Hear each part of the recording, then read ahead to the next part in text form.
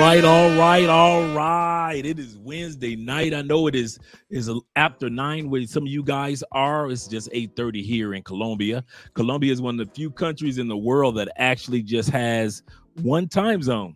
It's just one. That's it. It doesn't have a Eastern time. Well, I guess a lot of countries do. But uh, when it comes to time zones, Colombia just has the one time zone. And the only reason we change is because you all change. Let me switch these earphones around. My name is Andre of Andre and Andrea's Love Crossing Borders. I see we got 30 something people in the building. Click that like button. I like you. Make sure that you like us too because we already know Oprah coming next. Once I establish this as a place of truth, yeah. oh yeah. Oh yeah, Oprah is coming next. Oprah will be coming next. So make sure that you click that like button. Once again, we like you. Make sure that you like us too. Let me make sure that the Wi-Fi is good. Oh, looking good, looking good. Right now, we're using our router, our portable router that we take everywhere around the world with us. I'm telling you guys, you got to get that router, man. If you do any online work, you're a perfect example. Perfect example. You know, guys always see the little routers that we always have with us. For example, this is one of them. I'll show you the black one that we often use. You guys have seen that one a lot. This one is a white portable router that we use around the world, right? And all you do is just push the little button in the middle, tells you've got Wi-Fi or whatever you need, right? That's the cool part about these little small routers.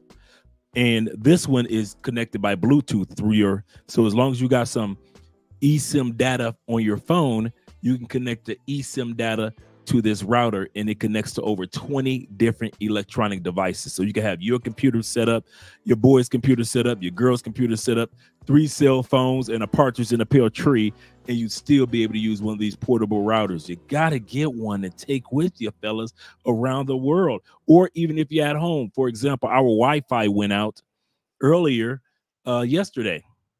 Well, guess what this week is? It's Easter week here in Colombia, so nobody's working. So you're not going to get anybody in Colombia to come out and do some work.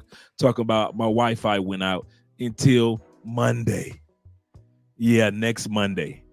But since we have the portable routers, no problem for us. As you can tell, the Wi-Fi looks oh so well. So shout out to you guys if you're interested in getting a portable router make sure just hit me up in the email or I'll just make sure I'll just drop the link uh, for the Amazon so you guys be able to take advantage of it. But yeah, it's, it's, it's worth his weight and gold. Shout out to my man. Speaking of worth his weight and gold, my man David in the building. Shout out to you. He said, Diddy better call Russ. Yes, Indonesia is one of the countries where there is no extradition, where you can go there and the United States cannot sit back and just go after you. So that's that's one one country right there to get to Indonesia. Yes, because Oprah is coming next. Oprah coming next. Yes, she is.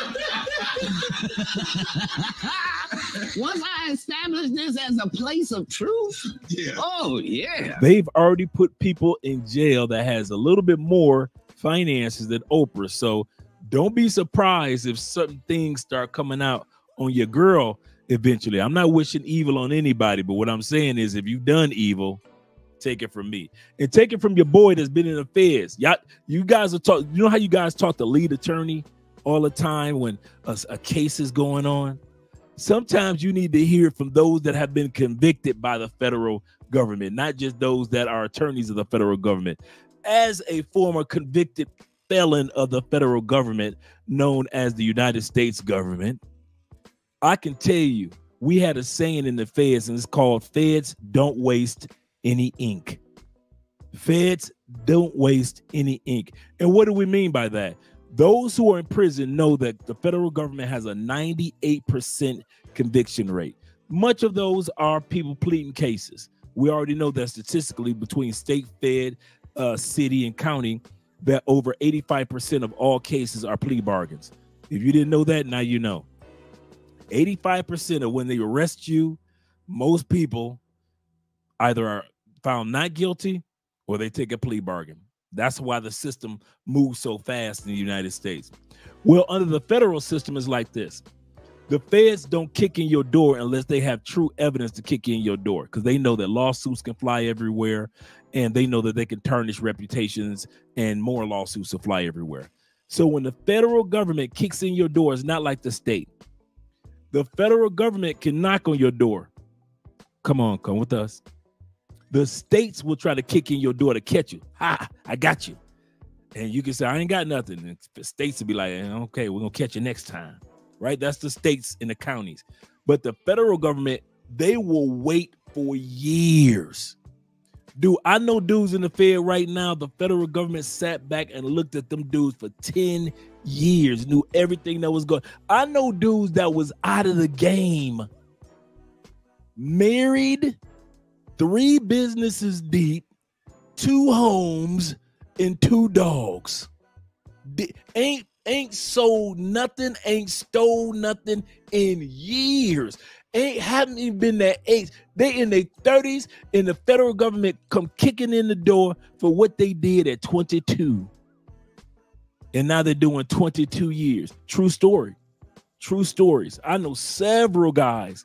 The federal government does not come as soon as they get the, as soon as they get the uh that's why they built all these cases up on Trump.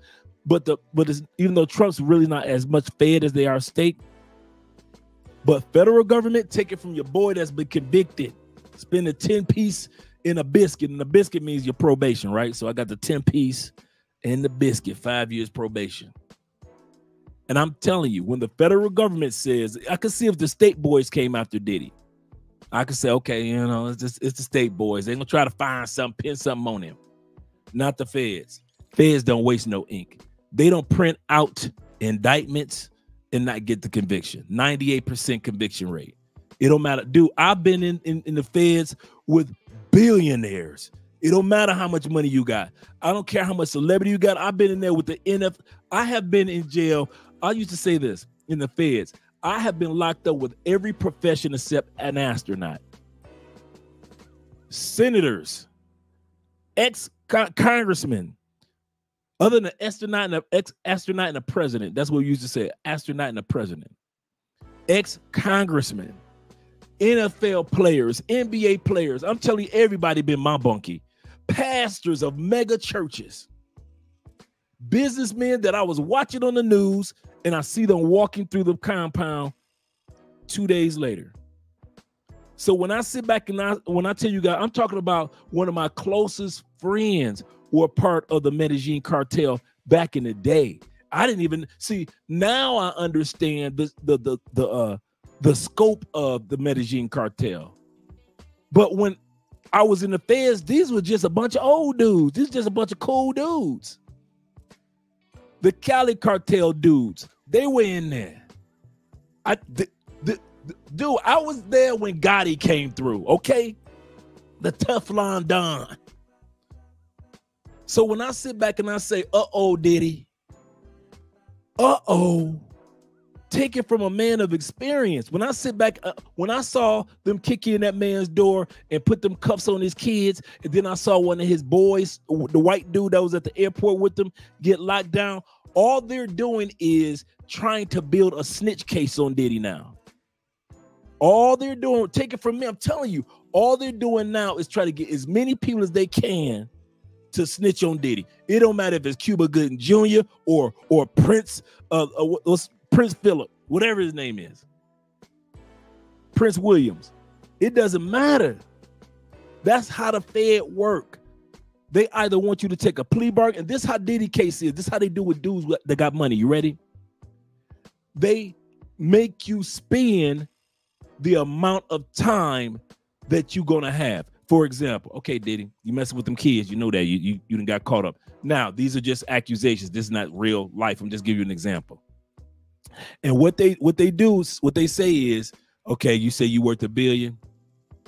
I, I, I swear this is how the feds do. Give us 300 million and you looking at fitting. Now, regular mere mortals like the rest of us, oh man, it ain't it ain't it ain't it ain't sitting like that. The one thing that the feds do, you may be a baller in your city in your neighborhood, you may be sitting on two, three hundred thousand. The feds know that you don't you don't realize feds don't waste no ink. You young. Feds will let you burn through that th- through that 300 thou in attorney fees. And once your attorney says, well, he broke, then they come with the plea bargain. The whole time your attorney make you think that you got a chance because your little measly two, three hundred thousand got you an attorney. Not with the federal government. Once again, 98% conviction rate.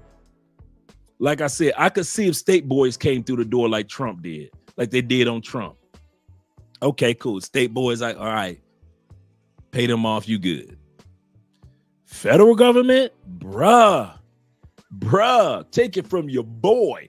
I've, you you name the profession, name it.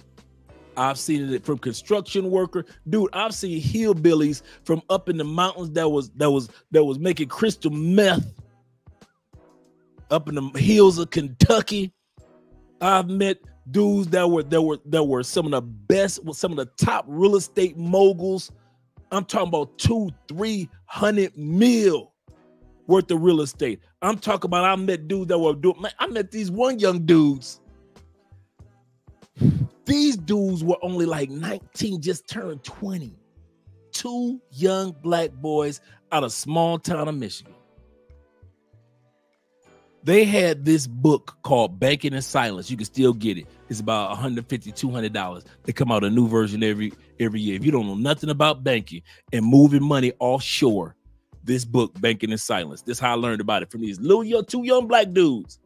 They discovered how to take what was it?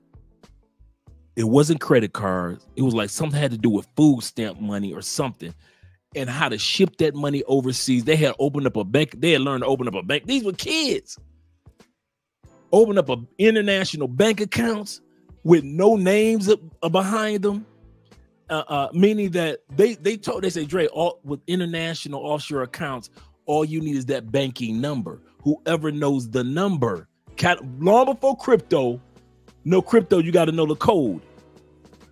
Long before crypto, these young dudes were like, all you need to know is your your, your digits to your no matter what country you put your money in, blah blah blah blah blah. I was like, what? Yeah, we were sending money. These kids, how they got caught with just getting sending too much money overseas, and they didn't know the laws of the ten thousand dollar. Once you once you know you get red flagged once you send over ten thousand dollars in one transaction in the United States. So they sending like chunks of money to their international accounts not realizing, oh, you kids done already hit that ten thousand dollar max, and the feds just came knocking on the door and told mom and daddy what their kids was doing. And your kids are of age. Like I say, these kids were 19, two black, young black kids, just nerdy, every everyday kid, wasn't nothing thug about them, just regular, everyday nerdy kids. These kids had got over like five, six hundred thousand dollars in a few months shipped into other countries. So when I say I have seen every walk of life in federal prison, every walk of life, and they might be coming for J2. There is no that when they say 98% conviction rate, brothers, when y'all hear that from now on, y'all gonna hear some people say, well, they're gathering their evidence. They've already gathered evidence. Feds do not put their footprint on your door unless they got the evidence. They either got some snitches, which is normally how it works. This how the feds work. A snitch got caught, right? Doing some crazy stuff. Well, I got it from Diddy. And so, really? Yeah. Well, here's what we need you to do. We need you to, we're gonna wire you. We're gonna first we're gonna interview you and then we're gonna take that interview and we're gonna use that in court. Then we're gonna wire you. You hang out with Diddy and his boys and get us as much evidence as possible. And we'll, we you're looking at 52, boy. Now, if you help us with this Diddy case, we'll drop it down to two. That's how, dude, bruh. I've seen dudes that shout out to my African brothers, but y'all dirty in the feds. I'm gonna say this again. Shout out to my African brothers. I'm telling fed stories. Shout out to my African brothers. I'm gonna come back to the shout outs, guys. Y'all some dirty dudes, man. African dudes will snitch, ain't never met you a day in their life. Man, I know African dudes that have sat up there and snitched on brothers just because I'm black and he black. Yeah, uh, yeah, I'm, I got 25 years. I know, I know one African dude. This dude came in in January with 25 years. But individuals that they that the feds just could not convict for nothing. They told this dude, if you just for, for nine months snitch on people you ain't never met before, we'll send you back to your home country. And that's exactly what he did. For nine months, literally snitched on dudes. He ain't ne- point fingers at men and women. He ain't never seen a day in his life. By October, by because he was coming in and out of he was telling us what was going on. He coming in and out of the camp. He coming in and out of the prison. We're like, man, where you been? Uh, to court. You snitching again, man. I'm get I'm down to 12 years now. But dude, by October, he was packing his bags, going back home to whatever country in Africa he went. And I've seen so many African dudes do that one. And I ain't coming against my African brothers, but I'm telling you what I've seen with my own eyes. Y'all some dirty dudes. I done seen y'all snitch on each other. Let y'all get caught for doing some some legal trans. Man, please. I've been down, I've been locked down with mafia dudes, like I said, John Gotti and them boys. And I'm not talking about John's Well. I'm talking about same camp, same, I mean, same compound. Until they shipped him over to uh, uh the Supermax in Denver. Man, I'm telling y'all, man, Diddy in trouble. Y'all ain't heard my commentary, but now y'all hearing it from my experience. Not just, you know, like I said, with lead attorney, he could talk about the case and everything. I could tell you about the feds. You could talk about the case all day long, but I'm gonna tell you how the feds work for real, for real. Diddy ain't gonna walk away from this one. And if he halfway do, it's, it's too. Here's what the feds do they build up a bunch of cases. So if let, let's say Diddy got seven indictments, I had 13. I had 13 indictments. I was looking at 165 years. Third, I'm say this again. Your boy had 13 indictments. I'm looking at 165 when they kicked in the door, I'm watching Rap City, right? I'm watching Rap City back in the day. Shout out to Rap City fans. They, I hear the rumbles coming up the stairs. I go running out the. I had a chick on my on my lap. I threw this chick on the on the on the ground because I recognized that rumble. I'm running toward the kitchen from the living room while everybody else still watching Rap City. Right? they wonder why Andre running. Man, I get ready to jump out the kitchen window they coming up from the basement. They've been in the basement all morning. All I'm hearing is clack, clack, clack, clack, clack, clack, clack, clack, clack, clack, clack. Just everything aimed at me. I'm ready to jump out the window. All I see is police dogs in black uniforms. And all I remember was the one officer saying, Don't do it, son. Son, please, son, don't do it. You don't want this, son. Don't do it. Bag up out that window, boy just bag on up out there. I was like, I got got on the ground with everybody, you know, on, on the, I got on the kitchen floor. They brought two, three more people in the kitchen in the, on the kitchen floor. And come to find out, it was a snitch. And just about everybody in the feds, because of somebody got caught with doing something they had no business doing. Had this is the funny part about snitches most federal snitches have nothing to do with your case.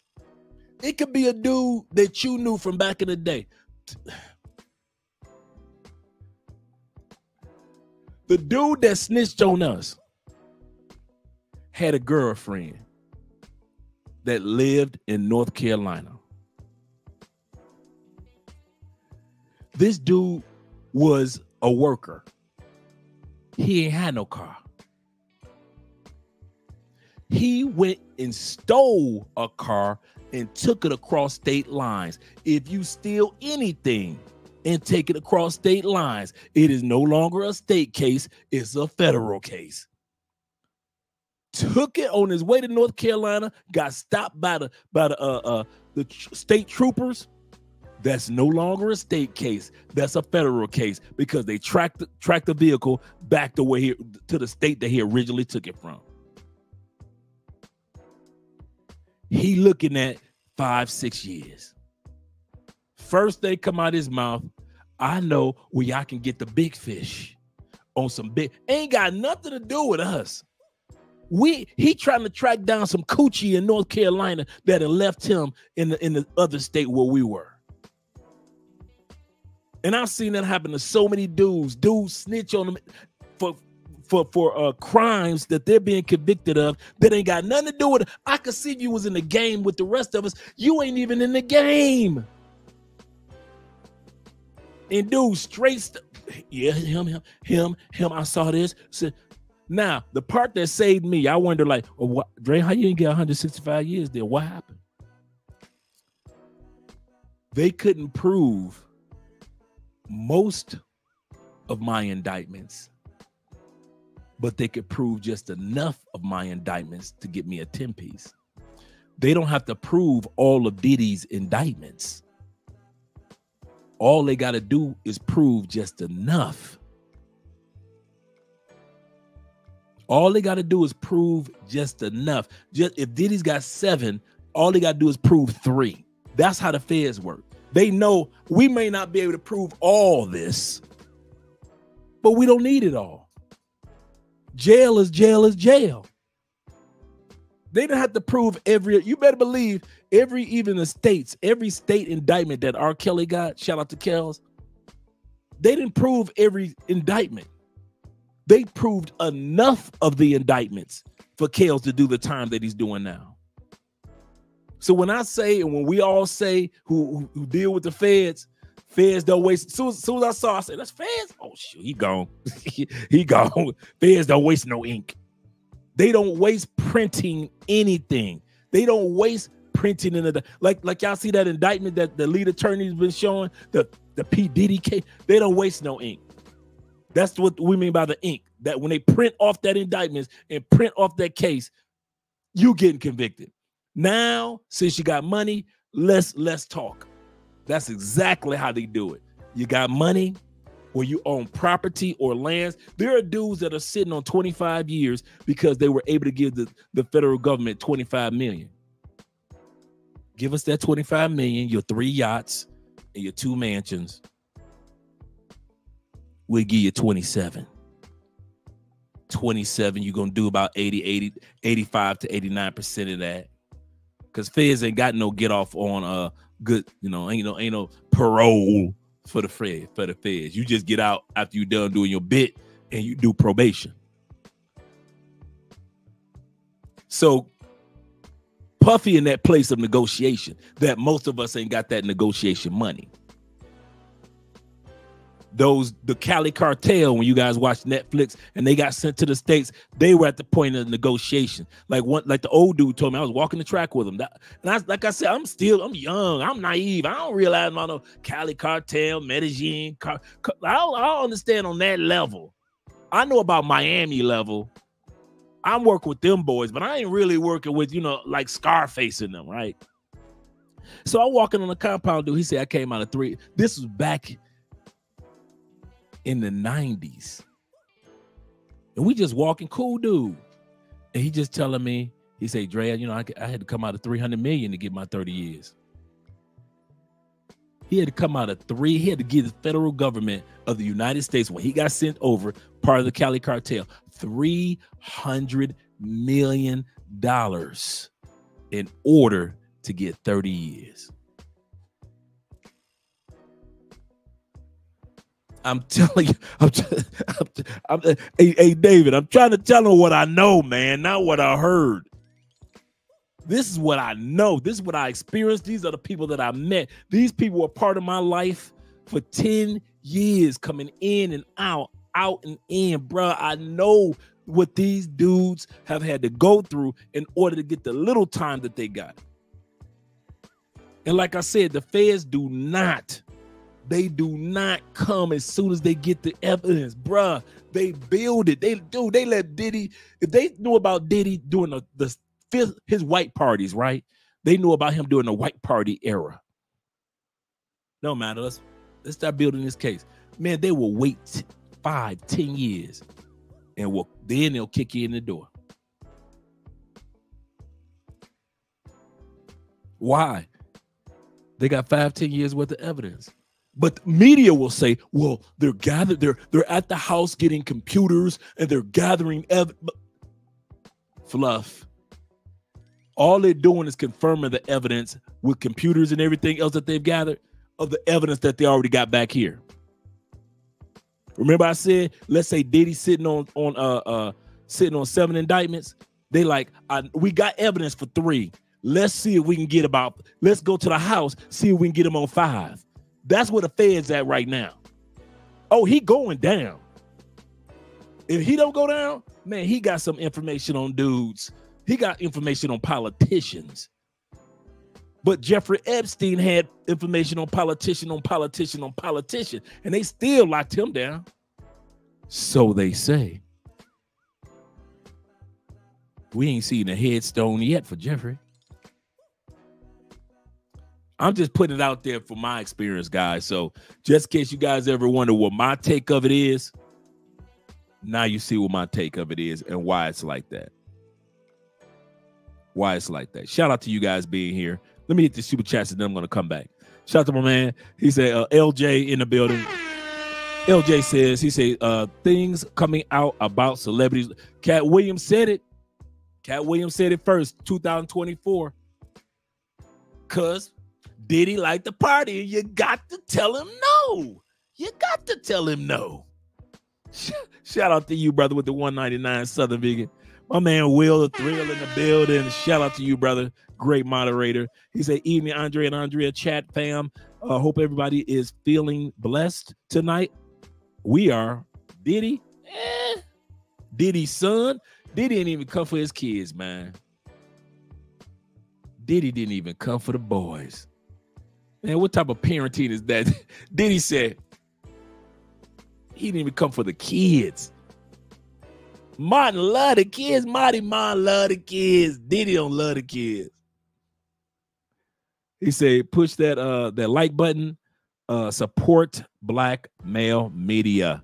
We got 129 people in here early. Shout out to you guys being here. We're gonna talk about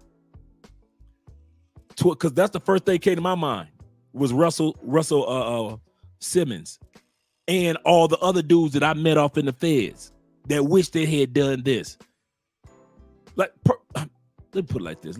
Shout out to Timothy Bright in the building with the two dollar. He said, "I don't think that they will catch him a puff of smoke." Yep. I'm gonna tell you guys something. If it were me, now with my Fed experience, there is no way y'all gonna catch me. Nah, nah, nah. Nah. If I had known then what I know now, nah. If I knew countries then like I know countries now, nah. There is no way I would have went out like R. Kelly.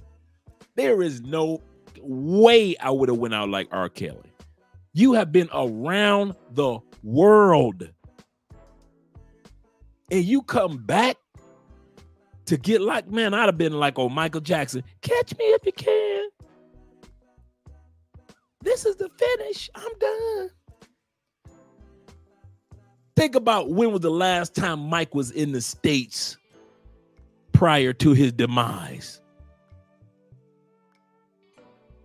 Other than getting ready for the tour, Mike wasn't hanging out in the States. Mike at everybody else's castle. He hanging out with czars and emperors, kings and nobles.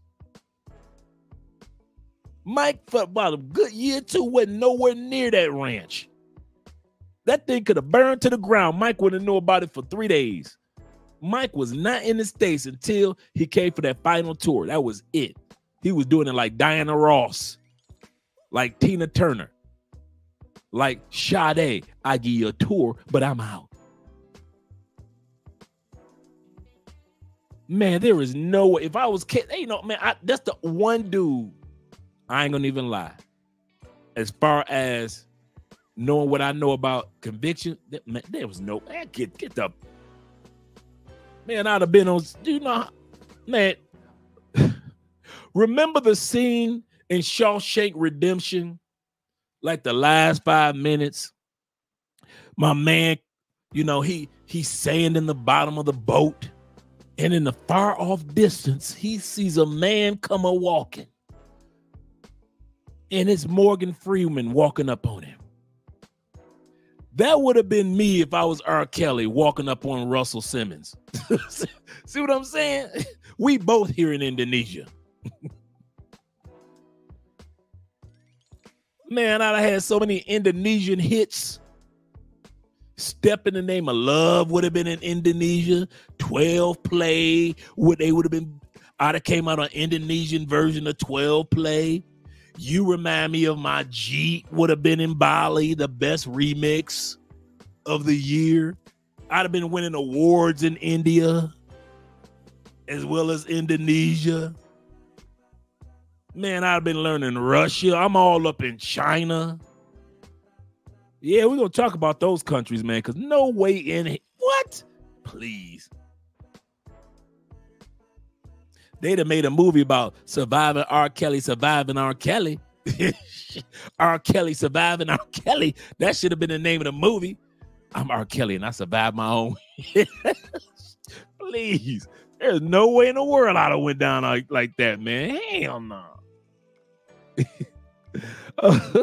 shout out to my man Ethan. Them Colombian boys at it again. He said, Wow, you are talking about something most Americans have never heard. Wow, the U.S. prison system uh, must be insane. Yes, it is. It's all about that dollar. If you got the money, then you can buy the amount of. Soon as he, Ethan, the moment they kicked in the doors, all I thought was, okay. I thought I thought about R. Kelly. I'm not black, I'm OJ. Okay. That's what I was thinking with, about about about Diddy. All I thought was, okay, how much you gonna pay for how much time? Because I know how it works. They don't tell you mere mortals, you average citizens who, you know, safety, safety, war on drugs, war against crime. Now the war is against trafficking. Got it. Very important issues. But they don't tell you guys what we know. Why? Are you attorneys? No. Are, are, are you are you prison guards? No. I ain't never been no damn prison guard. Uh, wait, have you ever been a judge? No. I know more about feds because I was a federal prison, who, federal prisoner who knew about the moves of the prison guards, the federal judge, the attorneys, the transcriptionists. Man, I know more about them than they know about me. Why? Because once you on lockdown, we all talk about our experiences. You might not you might not talk about your time.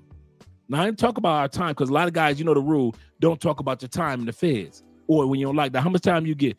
You know? Why? Because somebody else might be jealous. I got 10. I remember I opened up my big mouth and I said I got 10 years, and they laughed at me. I, I never forget that we playing we were playing spades or dominoes, right?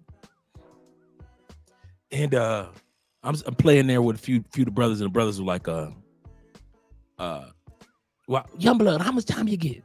I said, man, I, man, I got 10 years, man. I just come from a from my bunk, feeling sad for myself, not crying, but just feeling sad for myself. Got 10 years in this month. I only been I only been on the compound like three weeks, right? Like, fuck, 10 years. Damn. I'm gonna be 33 when I come out this month. I'm only 23 years old. I'm listening, you know. See what I'm saying? Heavy D, Heavy D, and, and uh, uh and Guy is on the radio. I come out, it's Cash Money Millionaires. see what I'm saying? I'd have missed the whole Biggie air, the the the the whole. My, I missed the whole growth of the Tupac rap era, the whole Biggie rap era just to let you guys realize how, how how much time I was down. But realize Biggie and Tupac's lives were short. These guys were like 25, 26 anyway. But I miss from their first hit to their last hit, I'm still locked down. From the time that these dudes was with Digital Underground all the way to in in, in, in Biggie with uh, uh, uh, uh, Junior Mafia, all the way until every dance I make, every move you. I'm I'm locked down for all that. All that. I didn't get a chance to. In, I, maybe I wanted to have thug life on my stomach, but I didn't get a chance to walk through that era. Why? Didn't impact me. All I saw was dudes crying on the compound when when uh Tupac died. They didn't kill Pac. That's only th- that's my only Pac experience. That's my only Pac story. When I saw all the young dudes in tears, that was it. Oh, I was locked down for the OJ conviction. Oh man, the white the white people went crazy. So when I said my little 10 piece, I was like, until I heard the years that these other brothers got 54, 24, 72. And basically for the same uh, madness that I was doing 72, 48. Them dudes told me, young boy, if you don't shut up, you about to go home. I'm like, what? What do you mean I'm about to go home? I got 10 years of my life is gone. 10 years. I'm ready to throw my, my spades hand in until they told me how much time they were looking at. I mean, that they had been convicted of. I mean, man, bruh, my first the dude, I'm I'm in I'm in MCC Chicago playing dominoes with the El Rukns. For all you Blackstone Rangers, anyone? Any of you Chi-Town boys think I'm lying? You like, oh, he must have been locked down then for real. If he down there with the El Rukn boys in the Black Blackstone Rangers, anyone? My spades partner is Jesse Jackson brother. I said it, Jesse's brother. He's sitting up there telling me stories about when him and him and his brother used to run trains on Chaka Khan. I got another book. Not the Chaka Khan. You and Jesse was running trains on Chaka Khan. I feel good. I think I love ooh, on Chaka Khan. I'm young. I ain't supposed to be hearing these stories. Chaka Khan was an icon still, man. You and Jesse Jackson running trains on Chaka. and y'all didn't invite me. Y'all didn't invite me.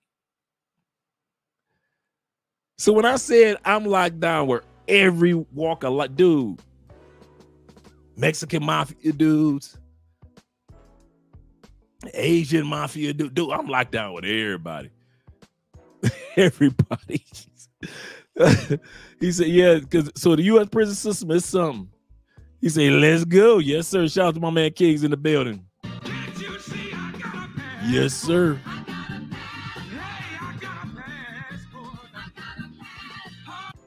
Shout out from Tampa boys, my man Green Lantern. We in Tampa, 813, Trigger City. Let's get it. 813 Trigger City. Let's get it. Shout out to you guys. We got 157 in the building. Click that like button. We like you. Make sure you like us too. Shout out to you guys, B. It's a lot of you guys up in here, man, tonight. I don't know if I get a chance to do a shout out for everybody. Shout out to man Keithan with the replay crew. We in Tampa, 813 Trigger City. Let's get it. Yes, sir. Nerdy girls for the win. Always. Always.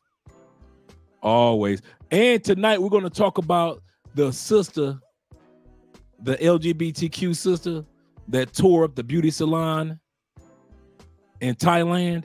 The one that was, I'm homeless, help me, my fellow passport bros gave us some money, put her in a hotel room. The people in Thailand gave her a job, which is rare for a foreigner to get a little me just a menial job, but just a job. Gave her a place to stay. And we're going to talk about what she did. Didi better call. Yeah, better call. Shout out my man Twan in the building. Salute to you as well, brother. Jonathan is in the building. And you say Shot City? I think I hit the wrong one. Shot City. Shot City. I'm coming home again. There we go. That's what I want to hit, Jonathan. Man, David Dice is in the building. Shout out to you, Dave. Shout out to you. Love W. Shout out to you, brother. Shout out to you. What up, dude? He said, "You know, R. Kelly is saying, get get that nigga in here with me, him and Cuba Good, man. Hey, they coming for Cuba. They coming for Cuba. You know, oh, man, they they locking dudes down, man. Man, dudes, the man, listen. As soon as I saw them kick in Kelly door, I, if I was Cuba, man, I'm on the next flight out. I'm on the next. I don't know. See, you know what I love about being a passport bro, blue book gentleman, expat. We know now, ain't nothing wrong with going to another country. See, we ain't got no pride like you left the United States. Oh, yes, I did. We ain't got no problem with that. Average US citizens will sit up there and take the whole bit. Please.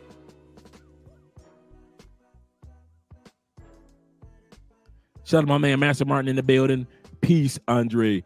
Keep he said Jersey in the building. The Jersey boys. Shout out to the boys out in the east, out there. And Tyrone in the building. We got Deuce also. What's up?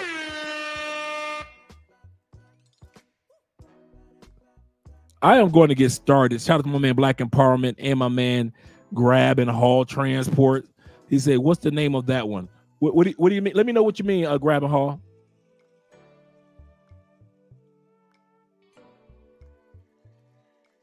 Shout out to my man Travis being here as well. Thanks for the portable router information. Yes, guys, I'm telling you, that's what I'm using right now. Just in case you guys are wondering, I am using this, not not the Wi-Fi. Like I said, the Wi-Fi in our building went out. I guess in our area went out. And since it's the holiday week, nobody's gonna come work on Wi-Fi or your router until Monday or Tuesday. But we're one of the few people that had enough sense to have a portable router. And since we have a portable router, which is we have the black one that you guys always see, but we also have the white portable router. So since we have this, we've got Wi-Fi that nobody else has. All we do is just this one connects by by a Bluetooth to, to our phones. So as long as I got eSIM, uh, uh, with use my eSIM uh, uh, uh, data, this connects. This is an eSIM router. Long as it connects to my phone by way of Bluetooth, this connects to 20 different electronic devices. And it's only $119 on Amazon. Yeah, I'm gonna drop the link for you guys later. Look how clear your boy looking with that one little router.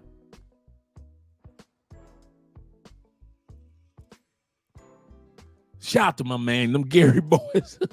yes, right. That's right. Gary from West Lafayette. Shout out to you, brother. Man, I remember West Lafayette too. Okay, let's get ready to get started, guys. With the with the I'll, I'll come back to the shout outs. And let me hit the, make sure I hit the rest of the super chats. Make sure you give you guys some good shout. Shout out to my man Will. He said he said, "Oh, them uh, them El Rukns. I was locked down with them dudes to cool dudes. Do you know what's so funny, man? When you see them, when you not in in in in prison, and you aren't a part of the BS stereotypes that you hear about in prison, such as the gambling or people on drugs or people getting shanked or uh or people messing with them boys, them ditties. What we call them boys is like guys that mess with uh other men. Means that's what we say in the feds. We say, man, y'all like them boys. Like I like like certain cities we knew like boys. Broke my heart too. In the feds, we found that DC, y'all love some boys. Y'all motherfuckers love some boys. I mean, remember like I said, boys mean them uh messing with other men. Atlanta. That's a given. LA, San Francisco. I didn't just say San Francisco. And the other city that just hurt Detroit. Y'all, boy, them Detroit boys love them some boys, man. You like, man, y'all messing with them boys like that, like that. And y'all know that. See, y'all. Well, how do you know, Andre? You was just in one federal prison. On con, au contraire, my friend, we got 155 people in here to go hear this truth. Click that like button. In the federal prison, you are allowed to transfer from prison camp to prison camp or, or compound to compound, in other words, or prison to prison because they're across the country, right? When I was locked down, you could transfer every six months. Now the rule is every 16 months to two years. Now they didn't have to approve your transfer, but you could just go to your, your case manager and say, listen, I want to put in for a transfer. I want to be closer to because they'll convict you, for example, they'll convict you in Chicago. You're originally from Indianapolis. There is no federal spots in Indianapolis, but the prison camp is right in Terre Haute, Indiana. Shout out to Terre Haute, right? That's where uh, uh right outside of where uh IU, Indiana uh, uh University, University of Indiana is right in that area. Right? So there's a prison camp, but you're not on camp level. You still are behind, we call it behind the fences. So you're in the prison prison. They only put you in the camps where there's no fences like in your last year or two, right? So you try to transfer around. So you might get trans, they may you may get convicted in Chicago, MCC Chicago, but they'll transfer you to El Reno, Oklahoma. Or MCC, uh, the MCCs uh, or, or prisons that's in California. So now you're like, I'm all out in California, can't see my family, can't see my boo. No, I'm boo getting smashed. And so you work your way back to to your side of the country. And it takes some dudes two or three transfers, right? Me, I didn't even tell my family how much I got locked down for, man. my mom was like, "Well, how long you in there, baby?" I said, "Mom, I'm in here for a while." I said, I I'm not in here for life." I said, "But I'm in here long enough where it feels like life." Okay. And the, you ain't tell your mama your number, man. I don't want to have my mama worried about my my my time, man. I'm trying to focus on this bit. I ain't trying to focus on the see me. I was you you guys see how I am right now about the United States. Cut that umbilical cord. I live my life in the country that I'm living in. I don't worry about what's going on back in the States. I was like that in the feds. When I got locked down, I'm focusing on what's going on in this prison life. I can't be babysitting or worried about what's going on the street, what's the latest song, what's the latest shoes. Oh, Kobe, this. Uh, is, is, is it this person, that person in sports? Uh, I missed all of Barry Sanders, all of Barry. I got to watch Barry on highlights. I missed all that. So, I mean, I'm, I can watch it on. I was watching a few games here and there, but you know, if the, if the guys want to watch boxing that day, I can watch the Detroit Lions as bad as we were. Hey, I want to watch the Detroit Lions on TV. Man, as bad as your team is, other than Barry Sanders. So I couldn't regulate the TV. We watching telenovelas back then, though. That's how I got hooked on Latin television. What? Okay, let me go back. So I was able to transfer to break my 10 years up every six months. So I'm going from prison to prison. In other words, state this. In other words, being the passport, bro. Why I'm in the feds. You caught that? That's why I know how it works all over the country. That's why I knew so many famous people or people that were not infamous but extremely rich. That's how come I knew so many sports figures and and man, one of my closest dudes, man. This dude was an old white dude, man. He had to be like, like I'm 20, I'm 24. He had to be like 51, 52. Like I'm calling 51, 52 old now, right? But back then I was old. And he was in for three years on something that he did with real estate. Like he was flipping houses or something happened with the feds and taxes and so forth. And he was worth like 75 mil. Gave the feds 50 mil he's still sitting on 20 mil when he get out. And that happens a lot in the feds. They'll take a chunk of your money, but but they'll let you, and they don't tell y'all that. So they don't tell you regular dudes that. Like the regular men, because they'll know y'all get mad. Yes, we let so and so keep 20 million. Why did you do that? He laundered our money. He took our pension fund. Yeah, but he still gave us 50 million. and that's how the feds work. So that's why I know so much because I was transferring to so many spots and I was cool with everybody racially. So I wasn't that dude that was on lockdown that only hung out with the gang dudes because I was cool with them because I was a school teacher. So everywhere I went, I was the teacher. So everybody was cool with me. I was I wasn't just cool with the mafia dudes. I wasn't just cool with the church dude, with the Nation of Islam dude, with the Sunni Muslim. Shout out to the Sunni Muslim brothers, Moorish Science brothers. Shout out to the Nation of Islam brothers, five percenters. So I'm down there with everybody, right? Christian brothers, they even had TPs in some of them for uh the one the guys that had like a kind of like Native Americans. They had they had to respect their religion as well. They even had to respect the Satanists. They had to have a special place of worship for those who were Satanists in the feds. You could not discriminate in the federal prisons or you, they could get sued. So they had to have a special place of prayer, even for people that believed in Satan and want to worship Satan. They had to have a special place of worship for them. But yeah, man. I'm t- boy, I was trying to say this story for Kings and Dreams, but Puffy, pull it out. I was gonna do this story on Kings and Dreams, man. But it's a lot of the story I still hadn't told, like how I got like that. But I, uh, hey, believe you me, when they was kicking in Puffy door, I was having flashbacks like a I was like, Puffy, I know the feeling, baby. When they put their footprint on your door, baby, you going to jail. Shout out to my brother in the building with the five dollar. He said, he said, you had me rolling with the Chaka Khan train story. Can you make a make a jersey drop? Uh, you know what? I've been thinking about making. Dude, I need a new. I need to make a New York and a Jersey and a Philly drop. I've been trying to think of what drops that I could use. I probably could use for Philly uh uh, uh a really good uh Beanie Sigel or or or freeway drop, but I've been trying to think of a really good jersey drop and uh or just East Coast drop, just just represent that whole East Coast area. But yeah, yeah, yeah. Oh man, that that blew me away, man. We sitting up there playing dominoes. We, I mean, playing spades, and we winning too. And we just talked about women and something, something. And uh he just put he, his brother looked just like him. Jesse Jackson brother looked just like him. And man, and I forgot what he was like down there for. Like I said, we in MCC Chicago. And MCC Chicago is downtown. You can look it up. It's one of the tallest buildings downtown. It's not as tall as, as the Sears Tower, but it's one of the tallest buildings. But most people don't realize that's a prison. they just think it's like a, that's a regular office building. That's a big black office building. No, no, that's a federal. That is a federal prison, people but they just don't know it.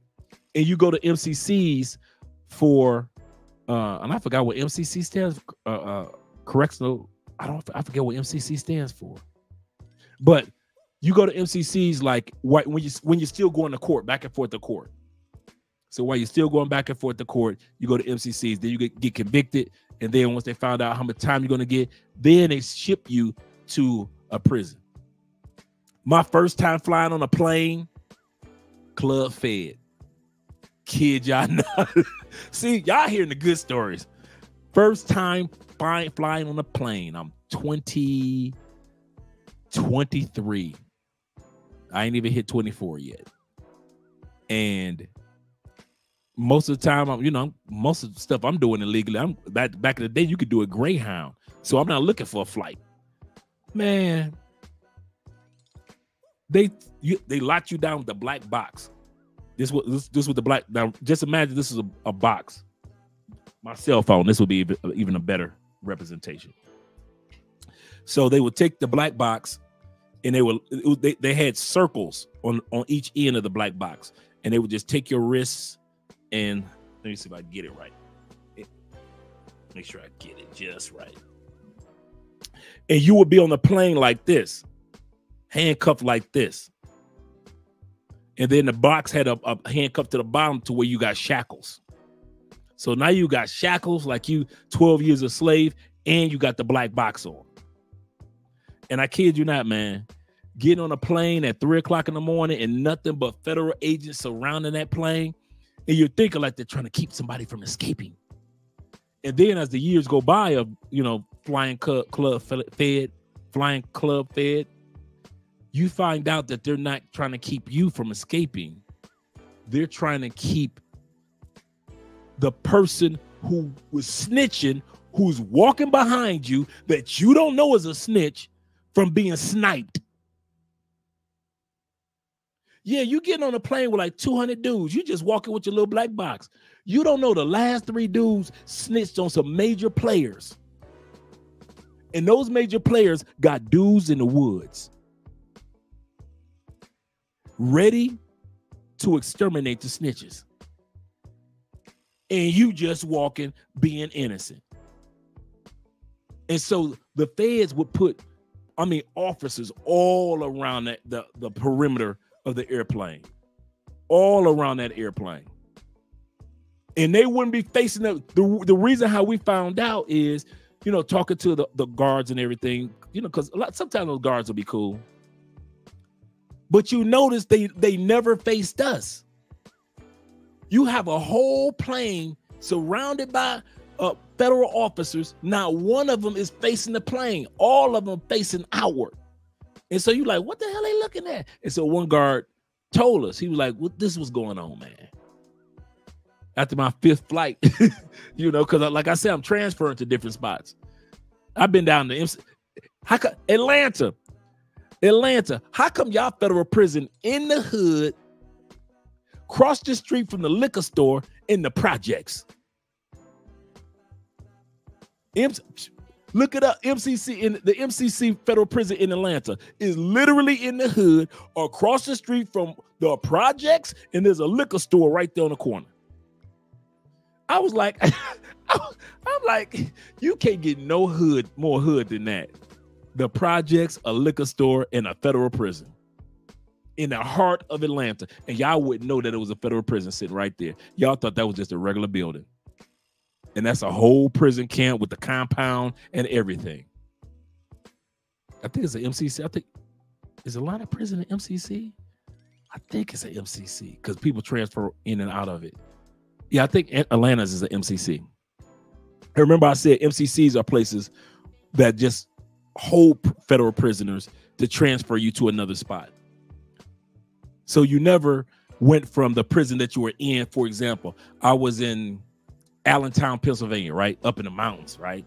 They had just built that prison. You don't you don't transfer to an airplane and then you fly out from from Pennsylvania. No, it works like this. They they they take you even by bus to from Allentown, Pennsylvania to an MCC. And from the MCC, whatever the MCC is, whether it be in Jersey, whether it be in uh, other parts of PA, then they fly you out from there. So you never fly out from the prison per se, but you fly out from the MCC, wh- where, wherever is close to the MCC. You guys got me talking the life that Diddy's gonna live. Diddy's gonna have that beige on. They don't wear the orange in uh, in federal prison, except for when you get ready transfer from one prison to another prison. In federal, you wearing that beige, representing that beige. That's going to be Diddy. Good morning, Andre, and everyone in the chat. Shout out to you, brother, for being here. I'm glad that you made it. He said, I got my ticket uh, to the Black Man. That's what I'm talking about. You guys better get your tickets to the Black Manosphere Conclave. See you in September, Andre, in Houston from the 6th to the 8th, guys. The tickets, you got about four more days while the tickets are only for a three day conference of brothers doing some amazing things, sharing some great information in Houston this September from the 6th to the 8th. It's only $95. Only not, I'm telling you, if I wasn't part of the conclave, I'd already planned on coming down anyway. When I saw uh, all the guys that were speaking last year, I said, "Oh man, I'll be there this year." So I was gonna go down there anyway. So you already know, guys, we can hang out. He said, remote jobs for the win. Yes, sir. Mailing address, uh, uh, soon. Let me know what the was it coming soon? Let me know, brother, what the what the CO is. Taylor made dreams in the building. Shout out to hey, hey man, me and Andrea love Andrea and I love that video that you sent us of your look. Man, she is growing. Goodness gracious, your daughter growing fast, man. She is growing. Beautiful, beautiful young lady, too. Love that hair. Love it, man. I love it. Uh, shout out Taylor Made Dreams with the ten dollar uh, super chat. He says, "Always bringing the truth. Love you, brother. I love you too, man. Love you too." Let's get ready to get started. Once again, we're gonna do the video regarding this young lady. And I get, I know I didn't get a chance to do all the shout outs, guys. We got 175 in the building. Click that like button. We like you. Make sure you like us too, because we already know Oprah coming next. Oprah is coming next. So let's make sure that we click that like button. But right here, and shout out to my man Timothy once again. He said, I don't, he said, I don't think they will they will catch him. Yeah, puff, yeah, puff of smoke for real. Right here is a montage of the sister LGBTQ. Her her YouTube channel is experiencing uh K or Kaya I think it's Kaya. It's spelled. Uh, she spells it with two K's. So experiencing two K's and or is it? Two A's. I think it's two A's at the end. But I put the link. But she's the sister that that was homeless, went to Japan first, ran out of ran out of money, only had fifty dollars. Somehow was able to make it to Thailand. Brothers, who was out there, the passport bro, shout out to you brothers, gave her money. Now, out me and Aaron I'm going to show you the video where me and Aaron from Black Men's Travel have a discussion pl- along with Andrew and you in this one as well, uh, Wheel of Thrill. Where we had a discussion in regards to do you give money automatically to somebody just because they're black and just because they're American? We're gonna we're gonna have this in this video, but we're gonna start off by letting you guys see the moment that she walked back to her her uh, uh her spot that she was living in in Thailand because she ended up getting a little part-time job.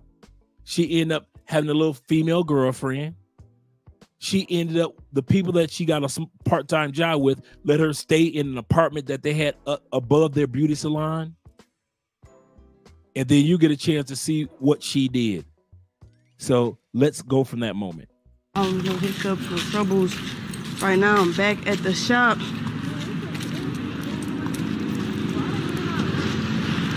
Wow. So this is what we come back to today.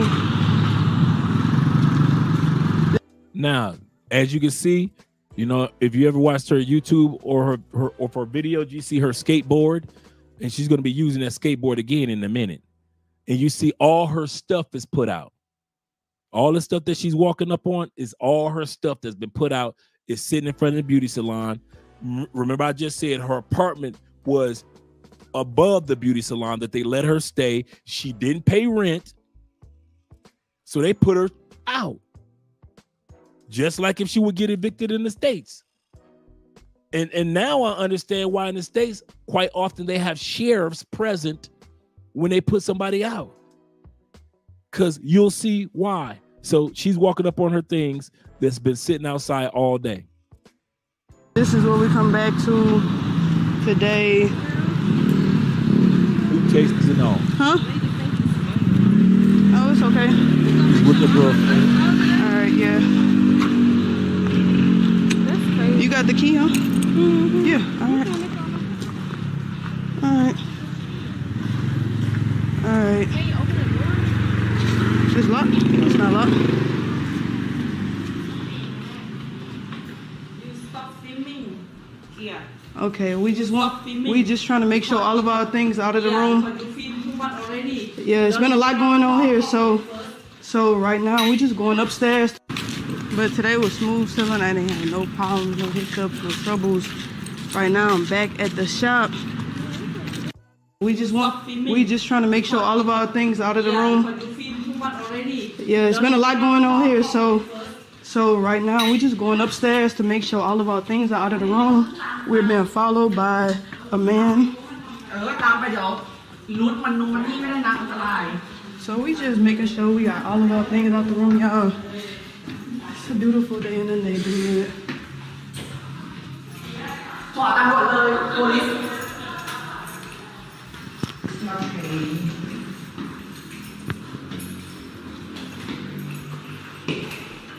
Let's make sure everything is out. Y'all, so this is what's going on. Make sure everything is out.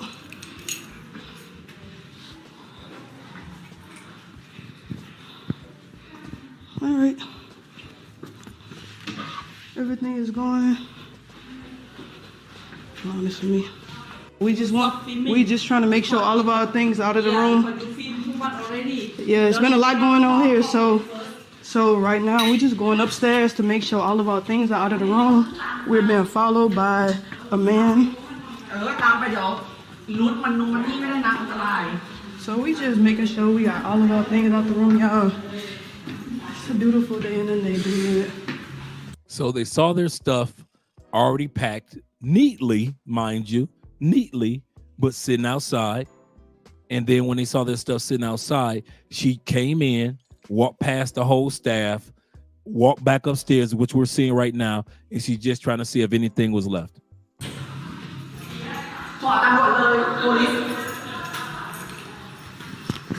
ถ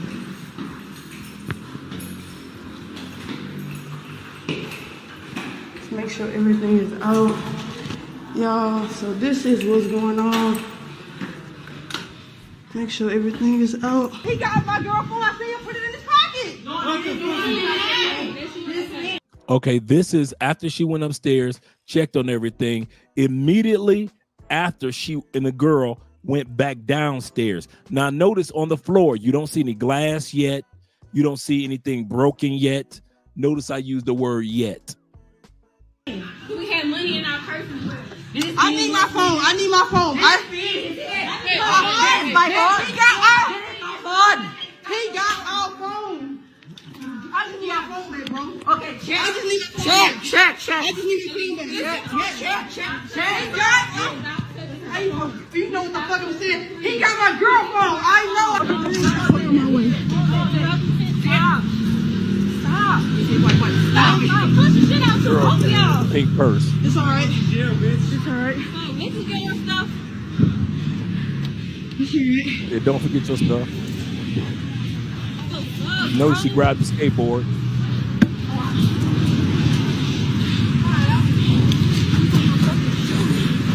Get your shoes.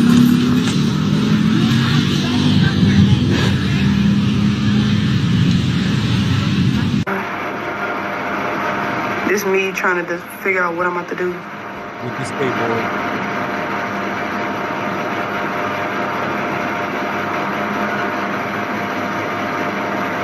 W. Now, she could have been figuring out what to do. Where she gonna sleep for the night? Where they gonna sleep for the night? Where she gonna take her stuff to? So forth and so forth. What does she do? She takes the time out to destroy the property. This is after she used the skateboard. destroyed hair salon after she was told to pay rent or leave by the owner of building here in Thailand. I call fucking police. You don't fucking run away. I record every fucking thing. ถ่ายวิดีโอแล้วเดินเข้าไปค่อยๆค่อยๆถ่ายเดินเข้าไป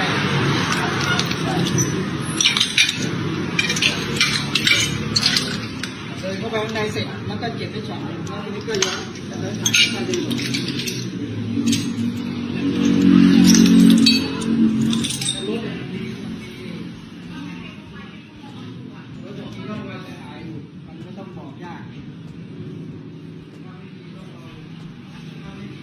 Right, Darrell.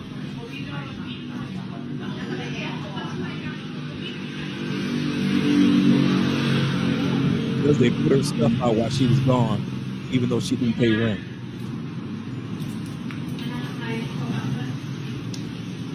ล็อกได้เลยล็อกไปช่วยล็อกนอนเรามีหลักฐาน มีหลักฐานทั้งทั้งในกล้องวงจรปิดก็มี ให้ถ่ายนี่ไว้เรื่องหลักฐานเราอยู่ล็อกเลย ก็ เพราะว่ามันได้ผลไม่เล็กน้อย ค The person moved to Japan knowing nothing about the culture. I don't understand why there's so much negativity, especially from my own community. The full video will be coming on YouTube. This is how I survived in Thailand with only $7. After living in a small village for almost five months, not making any income, I was running out of money. I was down to my last $50. On January 22nd, I decided to take a risk spending my last $50 on a bus ticket from Chiang Mai to Bangkok, then from Bangkok to Pattaya. That left me with only $7 to my name. I didn't know what to do. I was worried, but I kept my faith and trusted that God would make a way. After making it to Pattaya, I met with a local expat. I told him my story, and he decided to book me a hotel. And things started to get better at this. Now, she said she came across a local expat. Let's go back some. Faith and trusted that God will make a way. After making it to Pattaya, I met with a local expat. I told him. Shout out to the brother that did what I wouldn't have never done. A, I don't let nobody walk up on me. B, just because I'm American don't mean I'm the hookup. And so you guys are gonna see what me and, and the other guys had to say about this. Everybody was against Aaron uh, from uh, uh, uh, Black Men's Travel. Shout out to my man Aaron. Make sure you subscribe to his channel my story and he decided to book me a hotel and things started to get better at this point. This is what we do. That's hey, what we do. know, if, if I see another black person if I see a black person Medellin where they be a guy female he come up to me he be like hey bro you know I need a little help getting something I've done it. I'm like Dude, you right, know how many dudes that walked up to me when I was in Spain when I was in UK brothers trying to hustle me you know how many how many times I've been to the airport and picked up dudes, and another brother will walk up to us and hustle, try to hustle us, or the guys will, when they come to my truck, they say, "Hey Trey, but Andre, Americans though, other Americans overseas, Americans, Americans, oh, that's, that's what I'm. A lot of times people don't realize, and I know Taylor Made Dreams can attest to this. A lot of times we don't realize every brother that got a passport ain't your bro there are some brothers that ain't right. They were grimy and hustlers in the States. And then when they left the States, they brought that same hustlers, try to get a hookup mentality with them to another country, whether it be to DR, whether it be to Colombia, whether it be to Thailand or parts of Africa. It's always brothers that's doing some grimy stuff. So don't think that every brother or every sister that walk up on you is happy to see you. Just like y'all think that certain Colombians look at y'all like a lick, so it is with certain Americans, and they live in another country waiting to hustle you. Let's go back to the conversation that we all had with BMT. I'm saying and one point in time, I almost fell for it until I until I looked over behind the dude back, and it was an American female doing the same hustle to females. Same hustle. And so I sat back. I was like, "No, I ain't going for this." So when I sit back and I hear you say you you want to volunteer funds, bruh, my cash app is uh, raw. Don't send a donation over, brother. You, you, you. Right now, you, you, you in that mood to be in Mr. Giveaway. I ain't got no problem with that. BMT. Oh. Be who you are, brother. Just be who you are for your brother. Hold on, Andre. No, no, no, no, no, no. Don't change. Be who you are, Andre. Andre, if you saw that sister in a bus station in Southeast Asia, across Wouldn't the happen. world, somebody that comes Wouldn't from happen. your community, First, you already said why. Your community, bro, a, a black American you, You're not gonna you already said why I wouldn't. First of all, it is hard to approach and deal with sisters from the states because you don't know what you're gonna get. So I have learned to leave them alone unless I meet them in a group of friends that I already know, like when we all were watching the Super Bowl, and it just so shout out to B shout out to BMT being in the building. hey, I, hey, hey, B, I had to clip it, baby. I had to clip it. Hey, I still need that 350 from you, bro. I, I, my cash app, you still know what it is, man. I need that 350. If you giving away money like that, hook a brother up. happen to be sisters from the states, but just in general, I don't care if I haven't seen a black American for 40 days and for 40 nights. If I see one sister, bruh, if I see her coming this way, I'm turning, I'm crossing the street like I'm a little old lady running away from a gang. I don't do. I don't. I'm not about to put myself in that situation where if if this sister cool or is she not cool. I got a couple of notes I've written down here. First of all, oh, we got to come shit. to the reality. First, we got to come to reality. It's real quick. First, we got to come to reality. Not everybody is leaving the United States. Some people are repeat. running from the United States. I want you guys to hear that. Not everybody is like us leaving the United States. Some people are running from the United States. There are people that have done dirt to their families and they, they may not have done anything illegal, but they've done enough dirt in their community to their families and to their friends that the best thing for them to do is leave. Whether it be leave the community or whether it be just leave the United States and try to start a new life. And as we were talking and we were having that conversation, that's what I was thinking the situation was with that young lady that she did some dirt somewhere in the United States and she had to run away from the life that she left. Like I said, may not be anything illegal, but you don't have to do anything illegal to mess up your life and somebody. That's right. Tell BMT to apologize. If he ain't gonna send the money through the cash app, at least can the brethren get an apology. And this the funny part. No, Dre, she good. She I would have gave it to. That's one of our queen, our sisters. All right. That's one of our sisters. And she showed her tail not even what a month later, not even a month after we had this conversation, showed her ass. Let's get back because this is a good conversation with BMT. Once again, make sure you guys subscribe to BMT and make sure you guys take advantage of getting the authentic, original, not the not the fake ones out there, but the actual black and green logo for the Passport Bros app. You guys got to get that, man. So many guys are networking, doing some amazing things with that app. You can upload your videos. You can upload if you got a product for sale. You selling t-shirts, books. You can upload that on there, as well as networking with individuals, no matter where you go. So that Black Men's Travel, the the uh, the, uh, the Passport Bros app. I was about to say Black Men's Travel, but the Passport Bros app. I'm telling you guys, it is a game changer. You want to download that and you can download it for free? You know, some of them charge you for downloading, but this is absolutely free. You can connect with brothers. You ain't got to worry about, uh, you know, being blocked by Facebook or Twitch or Twitter or anything else. You could go ahead and, or TikTok. So make sure you guys subscribe to that or download the uh the uh Passport Bros app. Remember, there's a couple of them in there, a couple fake ones out there, but the one that you're looking for has black and green and white logo. You can't miss it. Shout out to BMT for creating that and his team. Let's get back to the video. we don't want to easy scam. Damn. Some, pe- some people, yeah.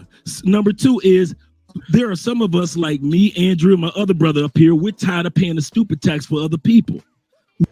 We are tired of pay- paying the stupid tax. for when some brothers come down, passport pookies, Nook Nook and Ray Ray and them, and we end up either being blamed for the stupidity that they did, or they need a few dollars from. Now, now, mind you, I have nothing against if a brother really down and out, a brother, a brother, if he really down and out, you know, it, it, it's fifty dollars, bro.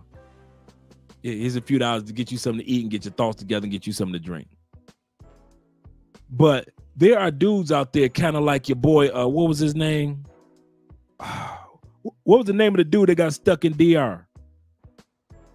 I forgot his name. The one that was at the airport, tricked up the little bit of money that he had, and then went on YouTube on a live stream begging for money from his subscribers. Come on, man. We get tired of paying the stupid tax for the for the stupidity that other men make. you just you, you just get tired of you. We as grown men, we maybe it's stupid of us. Yeah, Jay Rillo, thank you, brother. You get pi- you get tired of paying the stupid tax for what another man does. If you know that you're gonna be stupid, keep your tail home. For real. Now, if emergencies happen, we got your back. We ain't saying just leave you stranded. If emergencies happen, emergencies happen. You know, if you get robbed or if you lose everything or you just made a mistake in the calculations of your money, I got you. I'm with you on that, bruh. But man, listen, we ain't gonna keep playing, paying other brothers stupid tax He said, I don't know. Uh, I would have uh ha- I would have had enough brothers here to send me fifty dollars. Uh, I'm in the for real. for real. Yeah, man. Not everybody can afford to travel, and they know it, but they want to see a passport bro video, and they want to run out here too. Man, come on now. Bust our butt for our dollars and was wise with our dollars and act like we had some sense, just like you did with your dollars. And that's why you can live the life that you live, and all of us that travel, as well as in these chats. And we are tired of when brothers and sisters expect us to pay their stupid tax just because I'm a brother. So now you go use your color on the guilt. Brother, you ain't gonna look out for another hell to the no. I grinded for these dollars just like you grinded for your 3,000 to get on that flight. You had 3,000 to get on that flight, you should have had another three to take care of yourself. But she don't need it because she got BMTs of the world. Number the next one is BMT. I need that 350, bro. I need you to go and run that 350 real he said he quick because I know you gave it to the sister. So go and give it to the brother. He's gonna give a Don't, three. don't act like what BMT, come on now. BMT said, "Hey man, I ain't listen. I look out for the sister. I'll throw a little 350. 350? You throw that 350 on my books. Hey, BMT. I'm like Diddy. I need that money on my books, baby. I need that money on my books. I need some zoom zooms, some wham whams. See what I'm saying? I'm gonna show you how to make the, the prison Roman noodles, man. See what I'm saying? Prison nachos with the Roman noodles and the cheese, bro. I need to go to commissary, brother. Can a brother get commissary money put on my books? Can I get that 350 BMT? Show me some love. I'm a brother too, bruh. Show me some love, BMT. They'll throw that money on my books real quick, man. I'm waiting real quick, bro. That 350 on my books. she's a woman. Oh, she's a woman because you said oh. that a couple times. Next, next one is I have not seen O'Shea or anybody do any footage of all the homeless brothers that's in Thailand, and I've already watched news headlines of those that are taking place of brothers that are literally homeless in Thailand. And nobody's giving those brothers a dime. Uh, BMT, if you're gonna get somebody that money, man, get that, get that 350 at least to the homeless brothers in Thailand. I have There's a lot of homeless brothers brother. living on the beach right now. I've watched the news headlines. You know how I am. I'm a researcher. Last thing, when it comes to content creating, and this is most important, and I, I'm not kidding on this one. For all you guys that want to be YouTubers, it's not as easy as you think to monetize. Out of, I just looked it up. I had the article pulled up. This article came out November 1st, 2023, of all YouTubers that are out here trying to make money. You know how, what percent it is? What's the percent? Point zero two five percent of all We're gonna stop right there. 90 million YouTubers. Let me go I'm back. Kidding on this one. For all you guys that want to be YouTubers, it's not as easy as you think to monetize. Out of, I just looked it up. I had the article pulled up. This article came out November 1st, 2023, of all YouTubers that are out here trying to make money. You know how, what percent it is? What's the percent? Point less than one percent. Less than one percent of us that that- I'm talking about YouTubers that drop content daily. Daily. Less than one percent of us are making money. Here- here's the kicker. We're talking about less than a hundred dollars a month. Or I mean, I'm sorry, over a hundred dollars a month less than 1% of us are making over a $100 a month. Rest of the content creators, y'all ain't there yet. One of the things, one of the lessons that Ace taught me early, Ace Live, shout out to Ace Live, taught me early. I thought because Ace Live was my friend and my buddy, I was automatically supposed to be able to go on his channel. One of the things that Ace told me a lot of times was, no, you ain't on that level yet. And the second thing he taught me was my audience is not your audience. A lot of times you think you got a YouTube friend just because they have a audience that that's going to be your audience. And Ace told me, he said, No, Andre, you do not want my audience. You need to have your own audience. And it made me, and when he said you wasn't ready for it, I wasn't ready. I wasn't ready to to to uh to reach out to to Anton Daniels at a certain time, and I knew I had to bust my butt to get to that level to, to invite Angry Mans, the Chantel Simones, the the Crimson Cures. I had to bust my butt to get to a level. So when they sat back and I said, "Would you be on, be willing to be on our show and the interview?" Oh, Dre, yeah, I know you. I had to bust my butt to, to, for the Obsidians to take me serious. But I thought, and, and I'm, I'm, gonna say something again. I had to bust my butt for my friend Ace to take me serious, because a lot of people he tried to help didn't take it serious. So he wanted to see uh, is Andre just another one just talking, or is he trying to use me for my audience to help his audience, which is not the same audience.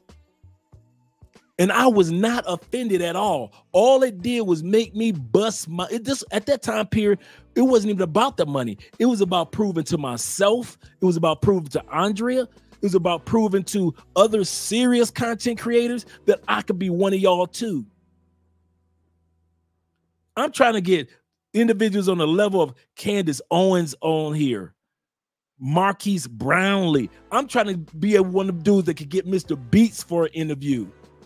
And on a certain level, you can't do that. But you got to bust your ass to get to that level to where they respect you enough to say, I got to be on that person's show. Actually, I watched their show.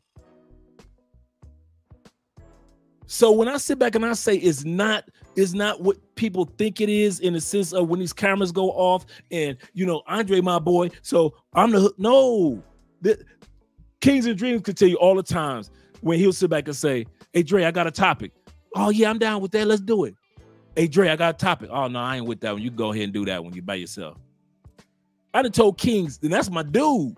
Many a yeses and many a no's. Why? I learned that from Ace.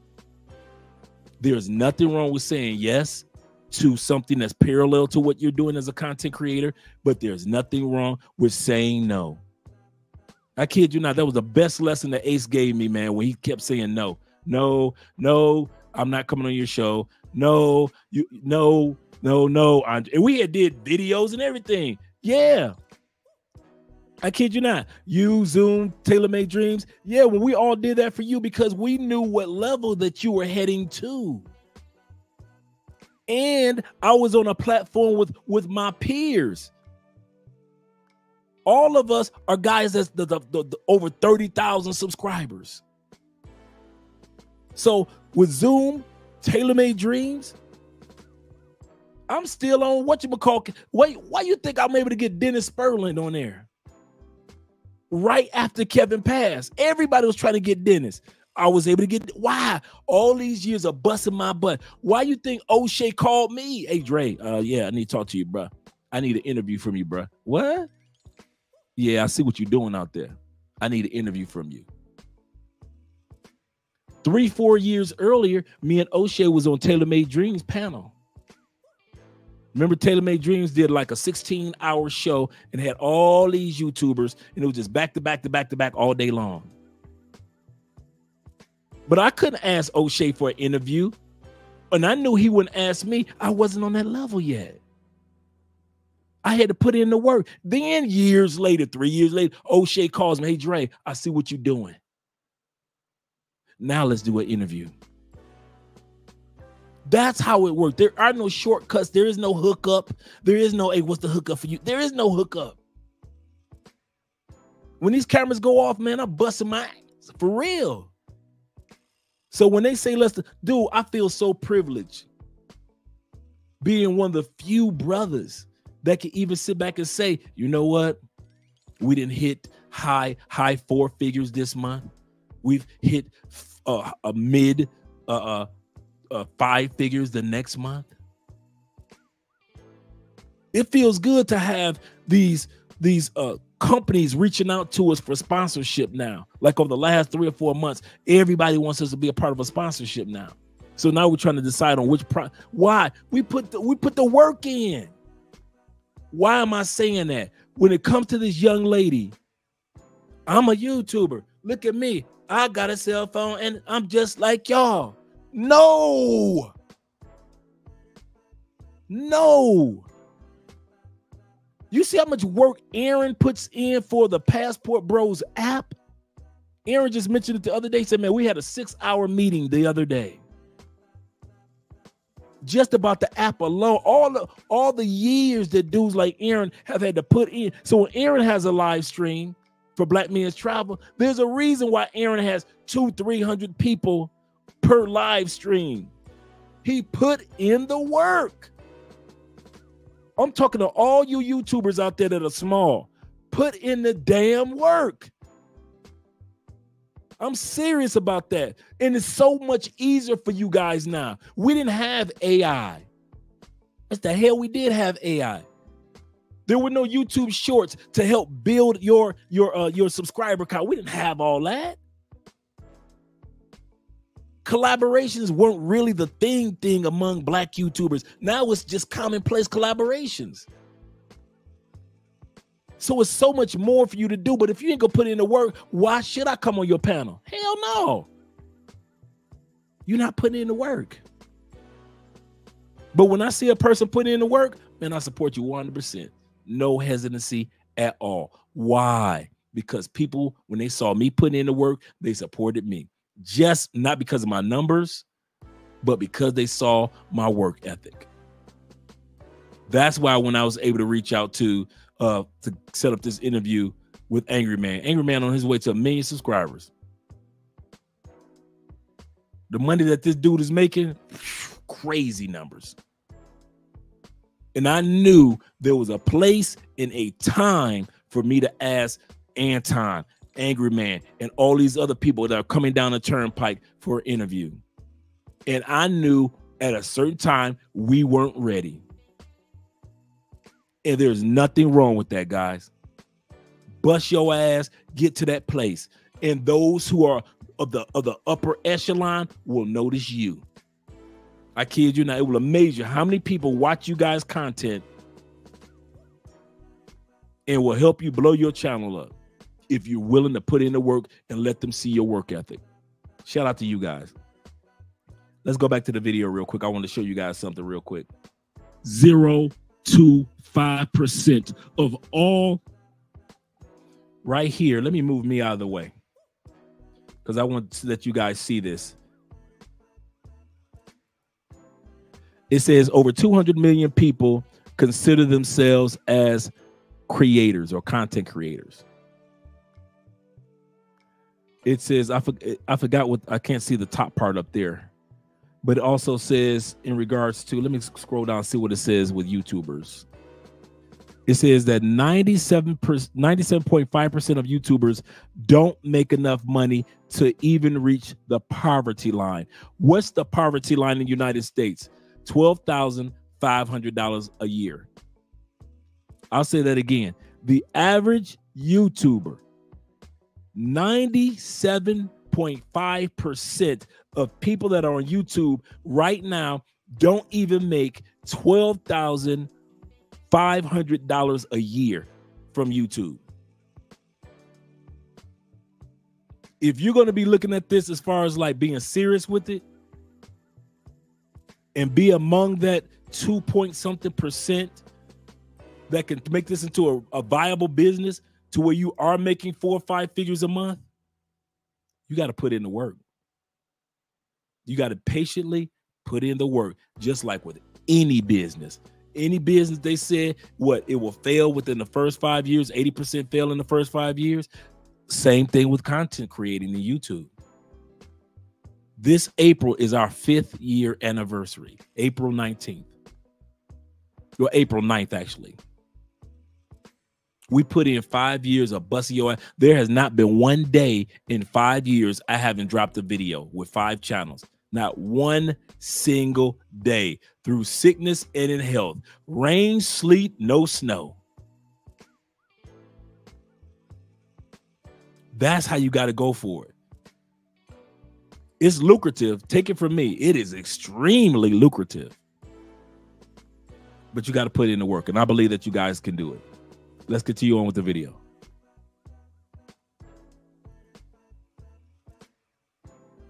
90 million YouTubers that drop daily content are making money. point zero. I didn't say point two. I said point zero two percent. And I looked up several locations to validate that. Most people on YouTube are not making money, and they definitely don't make the type of money that you and I and other content creators. They will never in their lives see five figures Will. a month. They'll never see six figures a month. So to sit back and, and act like I can do what what what BMT does, I can do what TaylorMade, I can do what Andrew does. When you guys know when the cameras go off, we are busting our ass to do what we do, whether it be creating an app, whether it be networking, whether it be creating the next or having two or three channels or being on two, three different platforms. We work hard. So when people sit up there, such as these individuals or Jay Rillo or anybody else, try to make it seem like I can do what they, it's easy. This is off cameras, guys, in all sincerity. I put in more work as a content creator. Now I, we reap great benefits, but I put in way more hours as a content creator than I ever had as in corporate America. And I was Facts. making 87 a, year in corporate America. Facts. That's so when people sit back and try to think that they could take a cell bo- a cell phone and in a couple months, no matter what country they go to, they can be the next Ace Live or the or the next uh uh, uh, uh Barber World or or Flyboy Way. No, it's only zero. It's only 0.05 percent of us that's making YouTube money, and they and they said this in the article.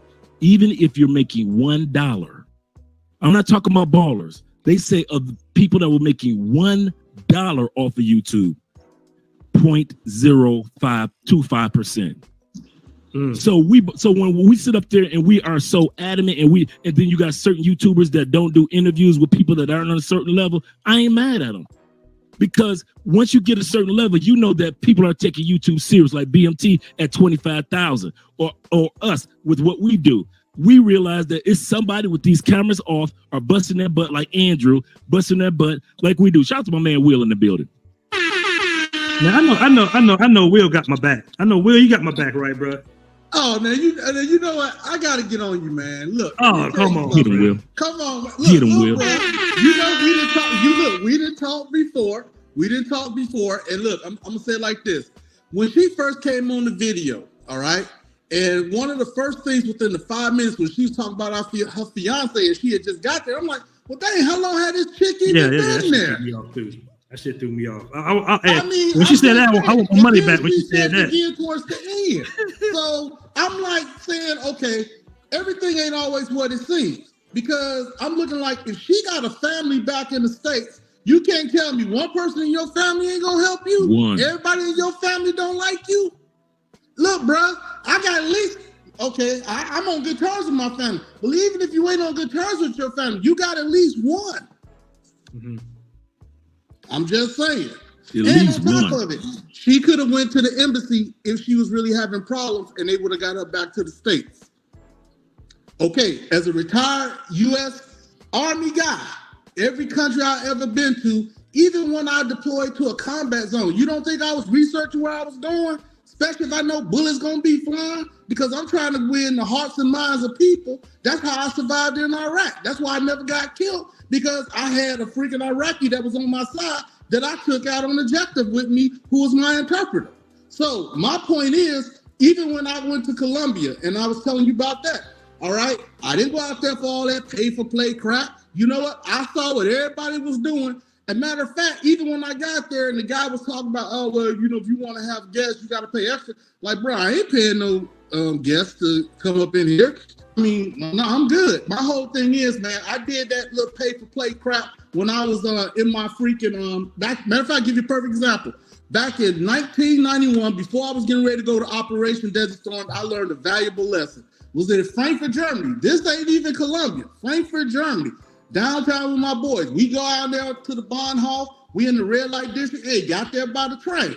Okay, had a couple drinks. They said I done ran through some chicks all up through the um red light district. Bruh, sat down, had a drink. Don't even know how I got back to the barracks that night because you know what? I got drugged. Didn't even know I got drugged, and this was two days before I'm getting ready to go over to a war zone. So I learned my lesson then that I was like, okay, you can't ever do that. Well, my mom told me way back in the day, don't ever go somewhere and leave your drink under um, what you say unattended. All right, all right. I want to give a shout out to CC with the, I think that's the Kenyan shilling, the thousand Kenyan shilling. I really appreciate that. He says she's down bad and still got a sassy attitude. You can't be serious BMT. I don't think she had an attitude though. I don't think she had an attitude. All right, let me hold on. Let, let me let me bring the black cleaner. Black cleaner got my back. Black cleaner, what's up, man? I, I, I know you. I know you would help her out. I know you would help out. You know I got your back, man. You've had my back. I got your back.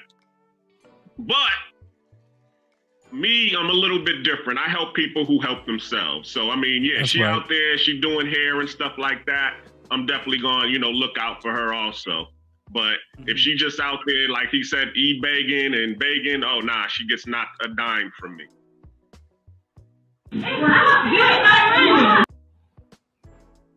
just in case you guys forgot, I just wanted to give you a highlight of what happened with Passport Sis's uh last year. It ain't even been a whole year. Remember the the one Passport Sis's that destroyed the one nail shop nail salon? I forget which country it was in, but we're gonna watch the footage of that one right now. And don't forget, guys, tonight topic is 12 countries that will accept Zid, that Diddy that Diddy can run to right now is actually 79 countries that have no extradition treaty with the United States. But let's continue to finish off this video real quick.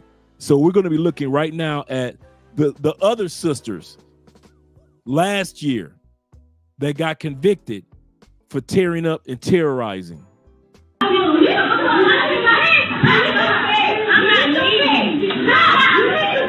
Thank you, Embala.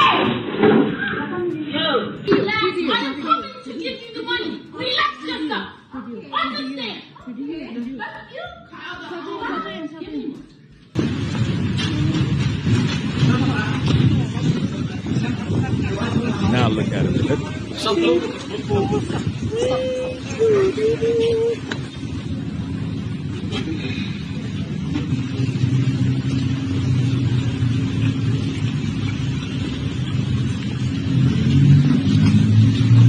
That was a playback.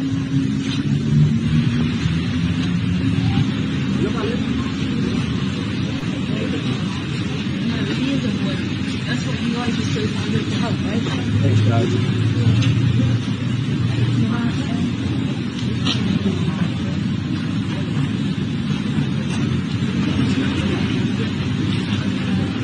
Ooh, they got it so weird.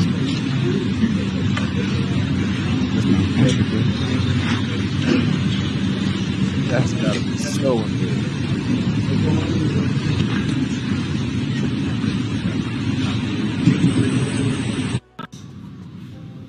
So back is to the one that we're dealing with now in This is what Thailand. we're standing at, y'all. This is what we're standing at. And they decided to put the lock on the door. And when I tell y'all, y'all, when I tell y'all, it was by the grace of God for us to be home. You know why? Because if we wasn't, we was gonna be locked out. We was gonna be locked out, even though I'm paying rent at this place. And these people are not Thai. The owner, she's Thai, but her husband, her boyfriend, who's causing all these problems, he is not Thai. He is somebody that wants to be in control of me and of my girl. He doing anything and everything in his power to try to bring us down. But we're just gonna keep on praying and keep on using the word of God against Keep him, on praying. and just keep on letting God fight our battles. But I, I really don't know, y'all. All this, right, we're looking at is a couple days before the incident occurred. Once we returned downstairs, after checking to make sure we had all of our things, the owner boyfriend approached me with the intention to break my camera.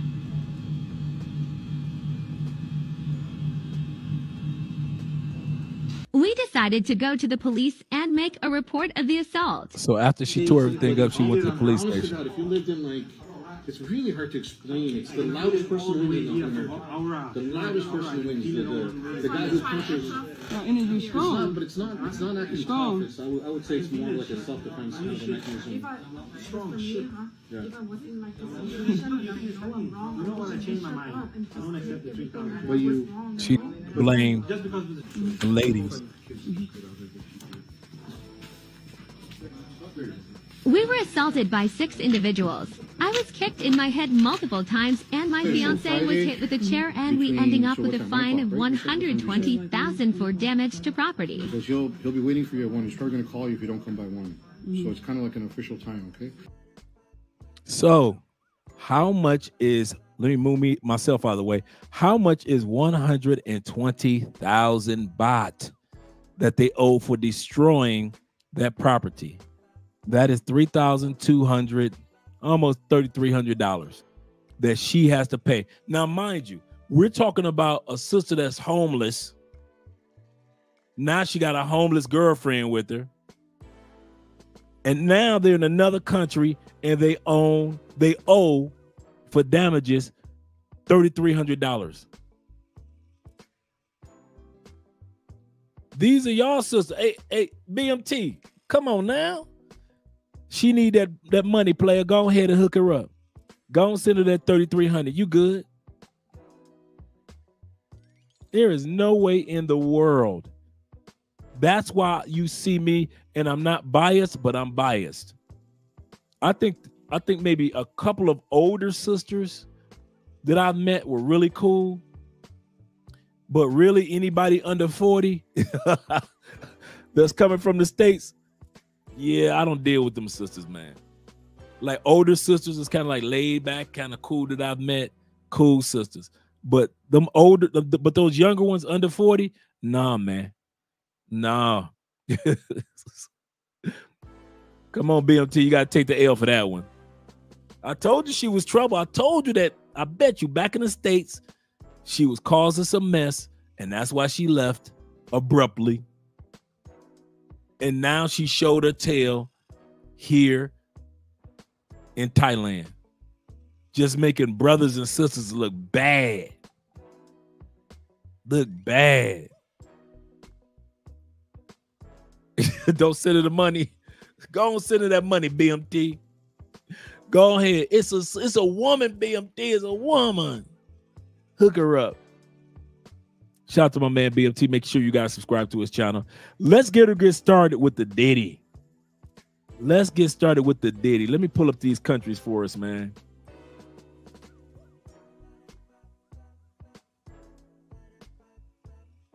Here we go. I got some video, but I'm I got video of those who are already being a part of the the accusations.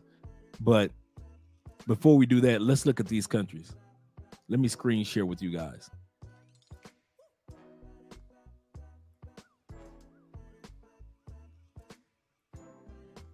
Let me go back here.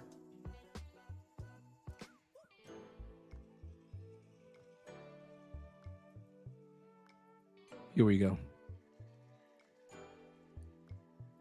Right here, these are uh did uh did he uh need he needs to go to Somalia? There's a, a a large list. Let me move me out of the way. Well, I'm going to come to the super chats in a minute. The first countries that do not extradite. Now, these are the ones that start off with they don't extradite their citizens, and usually they don't extradite anybody else. Brazil, Portugal, Venezuela, Russia, Germany, China, and France. And they have like like there have been famous people that are still in France right now. And one of them was the, the I forgot the, the the one dude that was a music producer or movie mogul back in the 70s. And they were accusing him for mess about messing with kids or little girls, and he went straight to France and he ain't been back yet. And they ain't never locked him up.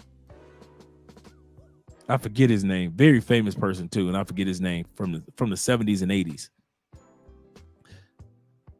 But there are a bunch of other countries, such as that these countries don't ex, ex you know extradite anybody. Ecuador, he could go to Cuba, Nicaragua, a Iceland, Switzerland.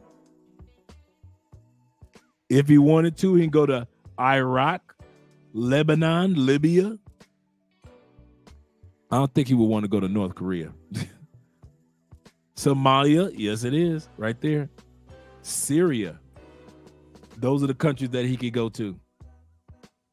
Also, he could hit up if he wanted to. Afghanistan, Algeria, so he could make his way all the way down to A's and B's. But there's a whole list. If if I was Diddy, I would be looking at this right now. This is what I'd be doing. What countries can send me back to the st- yes, no, no, no. They won't send me back. No, no. Argentina will send your butt back. Yes, they will. Australia, they will send your butt back. Yes, they will. Austria, they will send you back. But Angola, they won't send you back.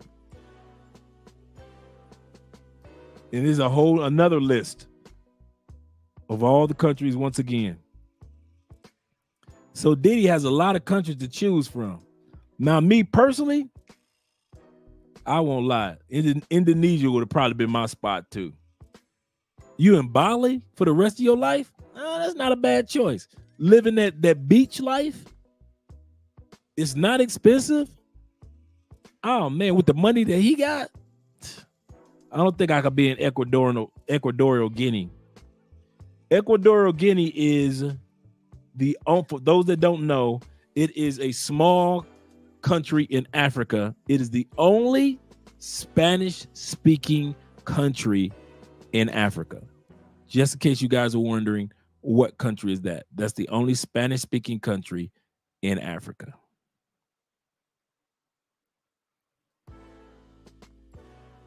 So there's a lot of co- countries to choose from. You could, could have chose Dubai, Morocco. Could have chose Mongolia. You got a lot of countries. Like I said, leave North Korea alone, man. Don't don't even consider it, bro. Uh, I don't think you want to go to Palestine either. But I'm gonna tell you something for real. My number two choice, uh, my number two choice would have been China. What? Yeah. You want to go to a country that's just as developed as the United States and has more English speakers than the United States. I said again, you can look that one up. You can look that one up. China has go, that, that busts a lot of people upside the head. China has more English speakers than the United States. Yeah, our little measly 400 million among a couple billion. Yeah. Yeah. So you better head to Africa. yeah, let's go back to this list real quick.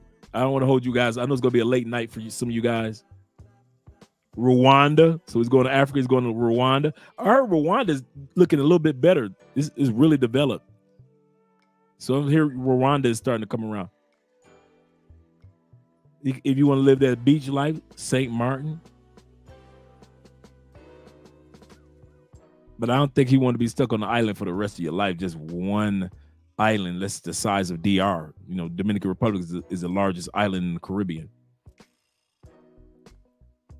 Uh, yeah, you ain't trying to do Ukraine right about now, did he? He could do Taiwan, Syria.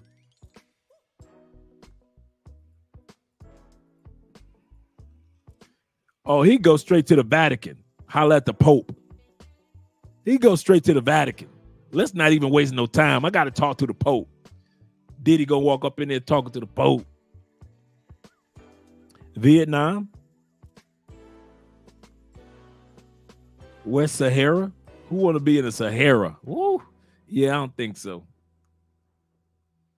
So there are over 86 countries that Diddy can go to without worrying about being sent back to the United States, including Ethiopia. These countries have no extradition treaty with the United States, none.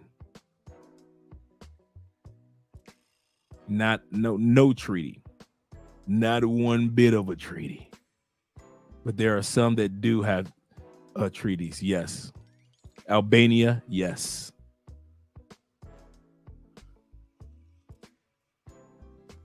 So that's what Diddy is looking at. And before we go, we'll just take a few sec a few minutes out and watch the latest headline of what's taking place with Diddy anyway. Let's go back to the video.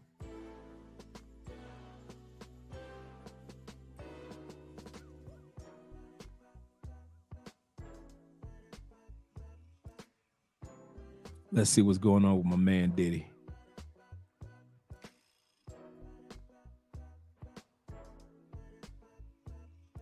Homes in Miami and Los Angeles were raided by Homeland Security. According to former out to prosecutor Melba Pearson, they're likely looking for some specific evidence. The feds are doing raids at three different homes of P. Diddy, including his homes in California, in Florida, and in New York. And what I think they're looking for are videos. So basically, P. Diddy had a habit, allegedly, based on told to us through the filings by uh, Cassie Ventura. They have all said that had a habit of liking to video either him abusing other people or in you know forcing other people to abuse each other for his Okay, before they go further into that, they're absolutely correct when it comes to photo or video. Dude, they they almost when the feds kicked in the door on us, they almost basically ignored us in the sense of they wanted photos, photos, photos, and videos because they were trying to find as many co-conspirators or future co-conspirators as possible. Remember what I said? They already got evidence of Diddy. Let's say for six or seven indictments, they probably got evidence for maybe three to convict him. So that's a given. They're trying to get at least enough evidence for five. So they got enough for one or two or even three, but they're trying to get enough evidence for five. At the same time, they're trying to get photos and videos of people that will snitch on Diddy. So if they catch so and so on video, hey, we caught you on video doing booty do booty stuff with with Diddy. No, I got a wife and kids and I'm famous. We need you to go go to court and snitch. That's why they do the video footage to either find co-conspirators or find snitches. Man, they dude, the feds are so bad. Do you know how many dudes that took a plea bargain because the feds said we're gonna lock your mama up and make her snitch on you? We're gonna give your mama 10 years. Then, then you buy your mama a car? Yeah, yeah, yeah. That that that car is in your mama's name. Your mama work at the post office. She can't afford a Ferrari. So we're gonna get your mama on tax evasion or racketeering. Your mama looking at your girlfriend looking at your remember with Steve Harvey a wife? In the I mean Steve Harvey's uh, wife Marjorie the first drug dealer what did he, what did he do? He took the whole case so who don't go to jail? Marjorie and the kids now the kids weren't going to jail but Margie would have been separated from the kids so he was like you know what I'll take the whole bit because he knew Margie was gonna get locked down, locked down. So he said, if y'all don't lock her down, I'll take the feds do that all the time. They come in and they look for for family members that they could throw a case on, and once they know they could throw a case on a family member, they know you gonna fold. So that's why they come in the house for Diddy. That's why they they were cuffing the kids on camera because they want to let him know we already got indictments out on your kids because his son I think when the oldest boy is already on one of the indictments. And so to keep your son from getting locked up, what they'll say, say to Diddy, listen, give us 15, give us 200 mil. Your son won't get locked down. You you'll do this 15. You'll walk away doing with the feds, do like 12 and a half there is no good behavior with the feds. You'll do 12 and a half, 13. And then you can go on back out and, and, and live your the rest of your life. I think Diddy, what, 54? Man, man, Diddy need to, my boy, Diddy need to run 54. If the feds give him 13, 4, 20, man, you in your 70s when you get out, no matter how much money you got. Late 70s. Oh man, I'm out. I'm out. Diddy. Hey, if you need for me to send you Diddy, if you need for me to send you that chart of all the countries that does no extradition, you need to have your hey Diddy, that same street team that you use, that them same people that made you famous with your social media outlet, you need to have somebody dude get you some chat gpt in your life. Chat gpt you need to explain everything that's going on to chat chat gpt chat gpt as my advisor and my personal co-conspirator i need for you to tell me the top 12 countries that i can escape to and i have my own jet and i need to be there today and chat gbt will be telling diddy and tell him all the countries that he need to go to you need to do something at 54 man you can't do five years at 54 you coming out at 61 years old if he get 10 years he get 10 he do like eight and a half Oh man. No, Diddy, no. Salute Andre. Uh, three cases of black men acting uh, a fool in du- in Dubai, oh, in Dubai, Indonesia, and Thailand are good case studies for culture clinician uh, to assess their thinking error. Wow, I got to look that up. Shout out to Gregory, and yeah, they do need the culture clinician help. Shout out to culture. Make sure you guys subscribe to culture culture clinician channel good brother. He said they could still put a price on his head, and some mercenaries, uh, uh bounty hunters, might try to drag him back. Th- th- those type of cases have happened, but I know individuals like the one guy that just died that had all that evidence on. uh He was in France, man, and I watched his interview like twice and he had information on secret services and all type of stuff on the federal government. And he was he was the one that came out was like hey your cell phone is still on even when it's off and they're recording you. I forgot the dude name man. Wore glasses skinny white dude man. And he fled to france. And the federal government wanted him bad and he doing interviews and making money and he was a college professor here but he was still making money with books and everything else in, in the other country in france while he was in france. So and he was talking about biden and obama and everybody in his writings like everybody was doing dirt. And they never brought him back. He just recently passed on. So it depends on how bad they want you. Shout out to my man Drew World in the building. Let me get, get to these uh, super chats. Let's go back to the to the video, actually, and then we're going to go back to the super chats pleasure and how would record all of that. So I think those are some of the things that no, he wasn't arrested. Feds are looking for. I think they're looking for other types of evidence to corroborate the statements yep. that were made by yep. Little Rod, by Cassie Ventura, and the other people have come forward saying that he did abuse them. So they're looking for corroborating evidence and the basically the building blocks to put real, together what will end up being a massive, massive, massive criminal case. So oh, far, Diddy hasn't been arrested, but he has already faced his fair share of legal issues. Last year, Diddy's ex girlfriend, Cassandra Ventura, who you probably know as singer Cassie, accused him of sex trafficking and sexual slavery. She alleged that Diddy raped her and beat her so severely that she was bruised. Cassie also alleged Diddy made her have sex with prostitutes and recorded it on video. She also says he forced her to carry a gun. Cassie sued him under New York's Adult Survivors Act and settled with Diddy outside of court just one day after the suit was filed. Joy Dickerson Neal also filed suit against Diddy under the Adult Survivors Act, accusing him of drugging and sexually assaulting her back in 1991 when she was a college student at Syracuse University. Diddy See, yeah. Yeah, those laws, each state is different. Now you oh, okay, here we go. Now you guys see when you hear me say the three L's of, of the passport bro movement. Now I'm not saying because of Diddy, but I'm just saying there are three L's of why dudes become passport bros, expats, blue book gentlemen. First L is lifestyle.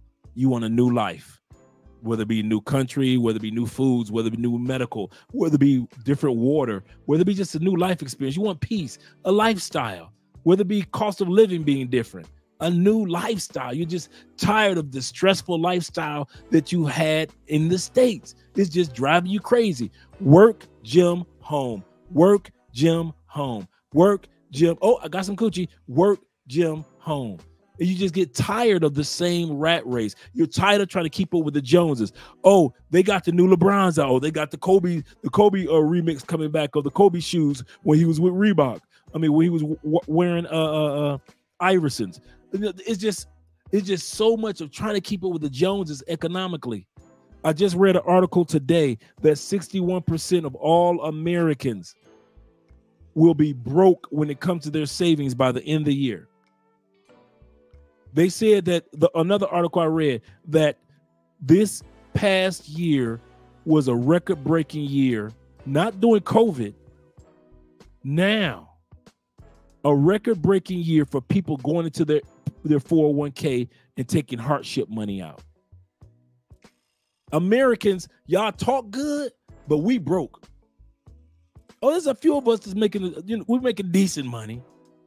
But as far as like a country, country, Oh nah. It don't matter what color you are now. Now, don't mind, black people are broken than everybody else. But for the most part, Americans are suffering because you're not getting a raise or anything else, but inflation keeps going up. And so it is once again. When you when you find yourself in a situation where you're like, I don't know what to do, the first one is lifestyle change. Number two is the ladies. Of course. You want fit, feminine friendly. You want everything that Kevin Samuels was talking about and then some.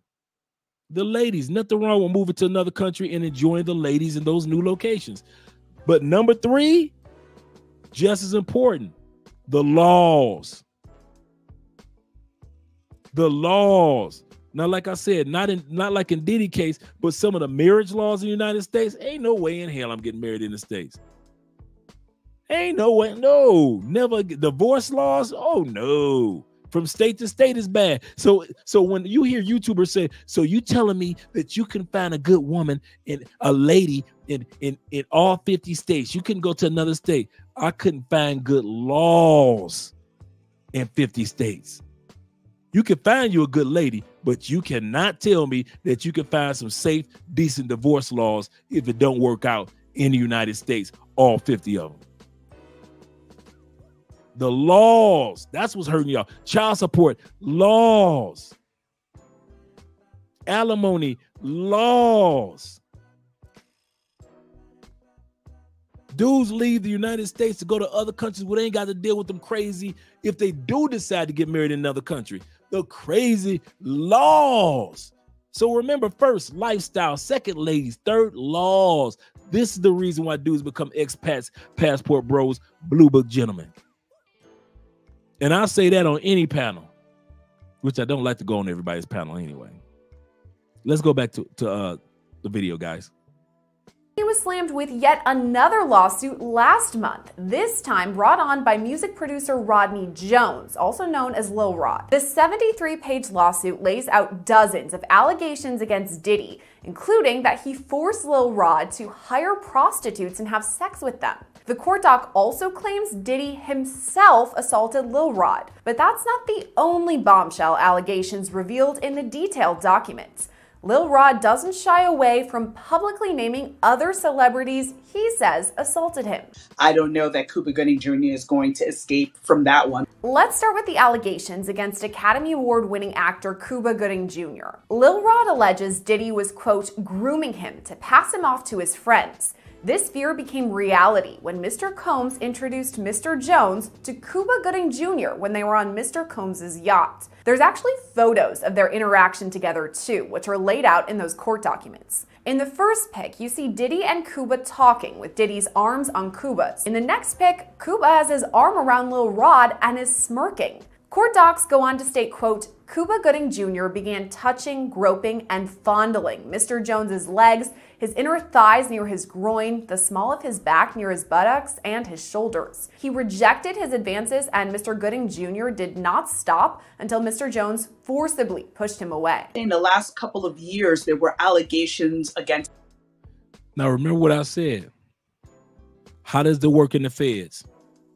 How does the Fed get their convictions? They get their convictions by bringing others into the conspiracy who will fold. That's how you how the feds do.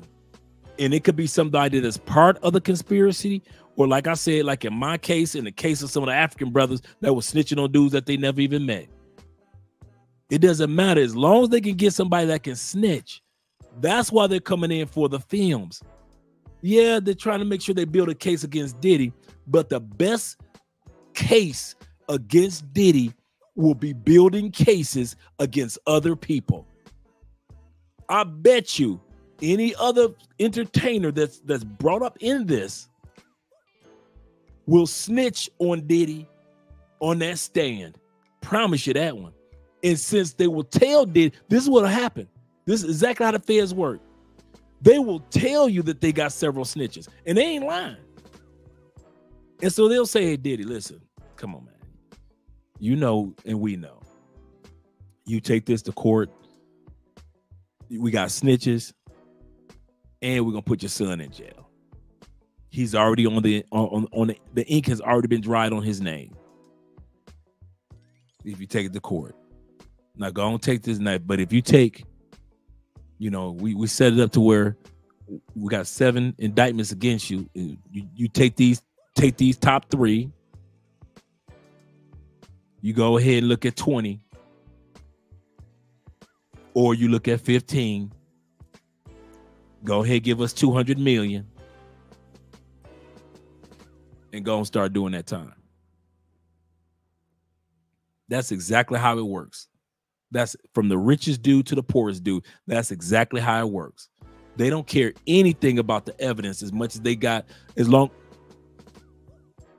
in my case, y'all ready? Here we go. The artillery is sitting right there. I recognize the artillery, all of it. I'm like, oh, shit. I know each piece of artillery carries 15 years mandatory minimum in the feds a piece. Remember, I told y'all I was looking at 163 years, 165 years we were one of the few people that took it to court. We sitting there in court looking at everything, everything, everything. The only thing that saved us from the artillery that we recognized, but the snitch didn't. So the snitch sat back. The only thing that he told that was true, I never saw any of those before. Are you sure? Yeah, yeah, yeah. We got this from the location. Well, I don't know who y'all got it from, but uh I've never seen those before. But you said that they said that, yeah, they said that they had something, but I never saw it. They said they were strapped, but I never saw. That's the only reason your boy is out right now. Only reason I got that 10 piece instead of getting that 15 a piece for each piece of artillery because the snitch never saw feds use people to become snitches. Evidence is cool, great, but people can use attorneys and wiggle through evidence. And all you got to do is see with evidence, as long as you can get the jury, if they're taking you to jury trial instead of one judge, if you can get them to have a doubt, you got a chance. But with a snitch,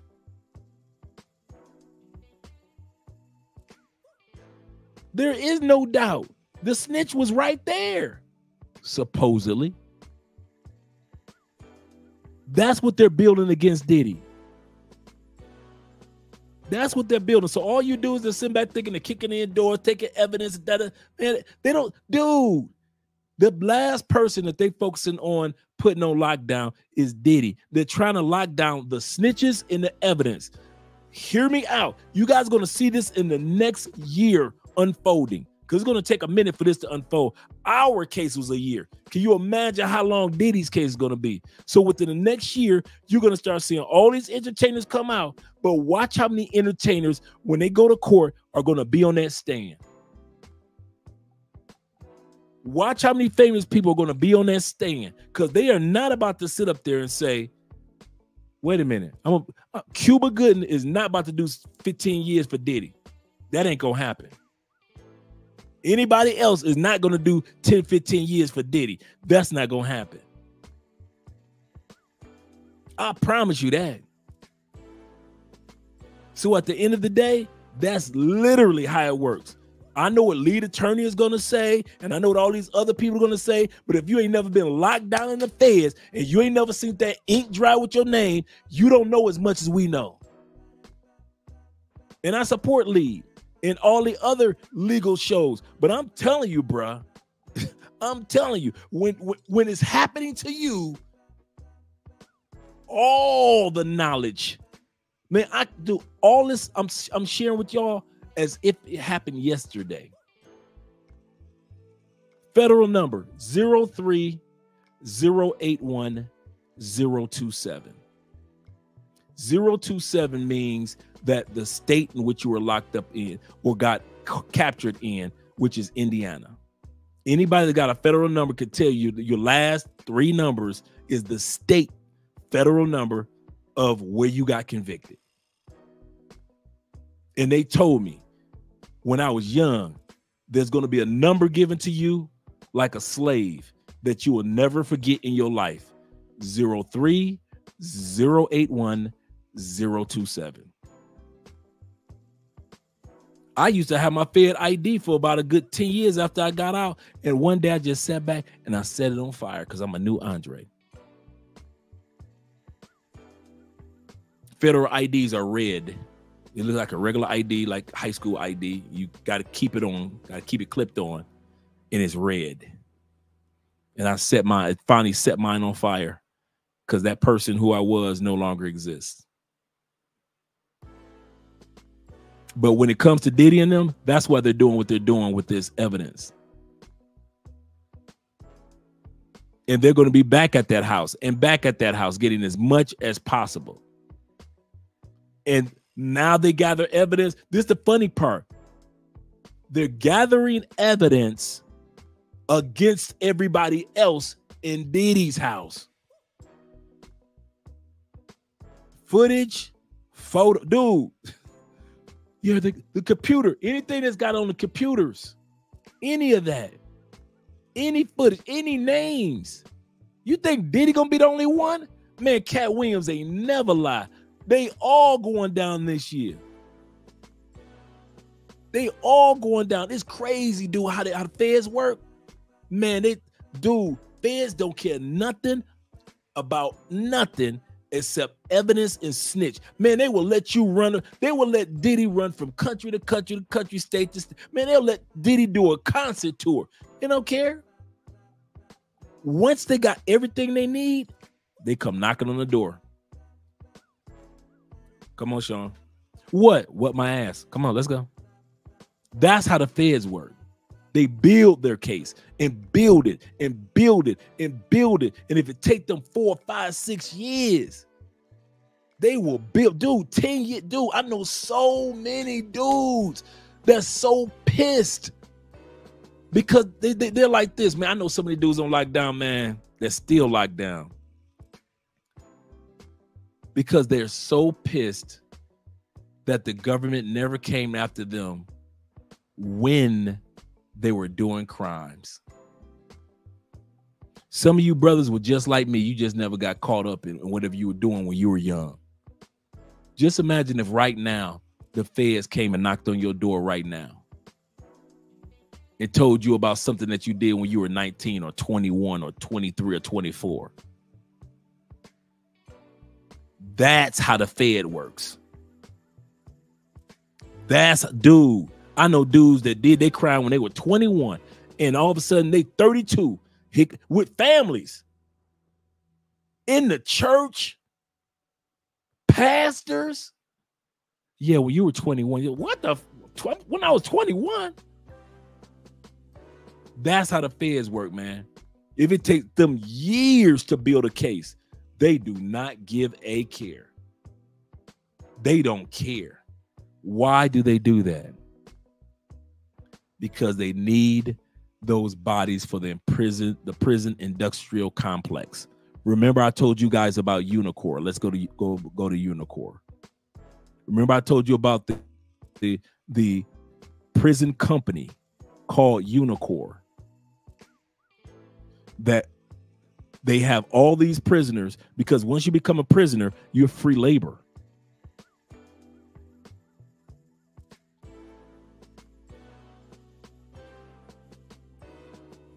Once you become a prisoner, you're free labor.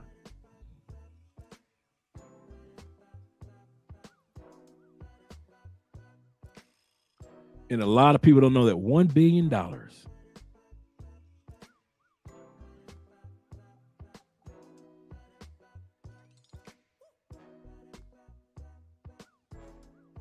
Let's see if, this is, is the website. No, that's not the one. But I worked for Unicor, and anybody mainly that's that was in prison works for Unicor.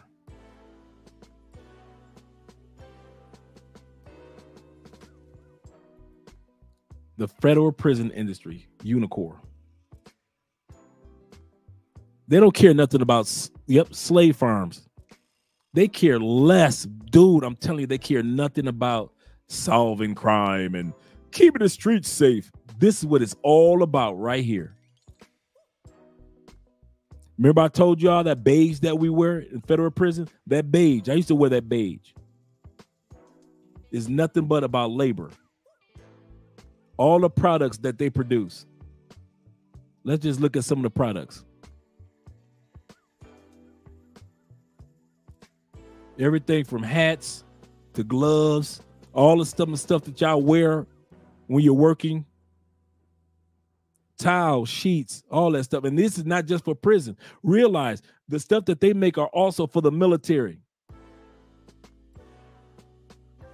They have a whole store, general store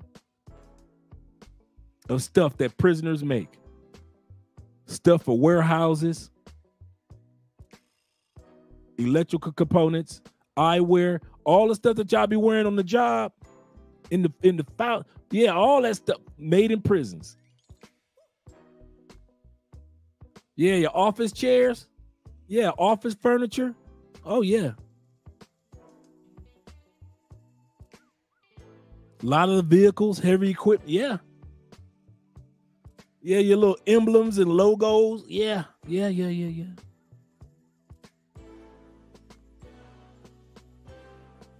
All that stuff.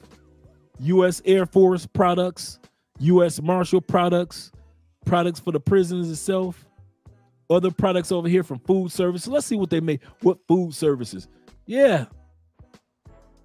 The agriculture business, your foods. Oh, y'all didn't think Unicor federal prisons had anything to do with your animals that you eat, your beef, your milk? Oh, you didn't think we, man, where do you think your tilapia comes from in the grocery store many times? Either overseas or it comes from a prison farms where your tilapia in the grocery store is. Oh, y'all didn't know that, huh? yeah, man. Yeah, it's on the New York Stock Exchange. Look up Unicor. Unicor is on the New York Stock Exchange, man. It's been there for a while. This is what they remember. This right around the time they started privatizing prisons. Your dairy, look all that non-fat, two percent milk, chocolate milk. Look at that. Look at all your products: celeries, lima beans, broccoli. Yes, your federal prisons provide all that for you. Yes, they do. See what other products they have. They got electronics, eyewear, bath and hygiene. I knew we already made mattresses. I knew that.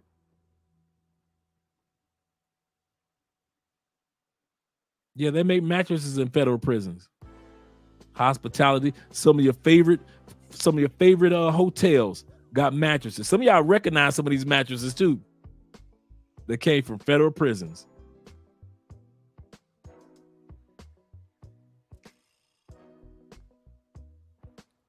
Medical care? Let's see what medical care is. Oh, medical mattresses for hospitals. All that made by prisoners.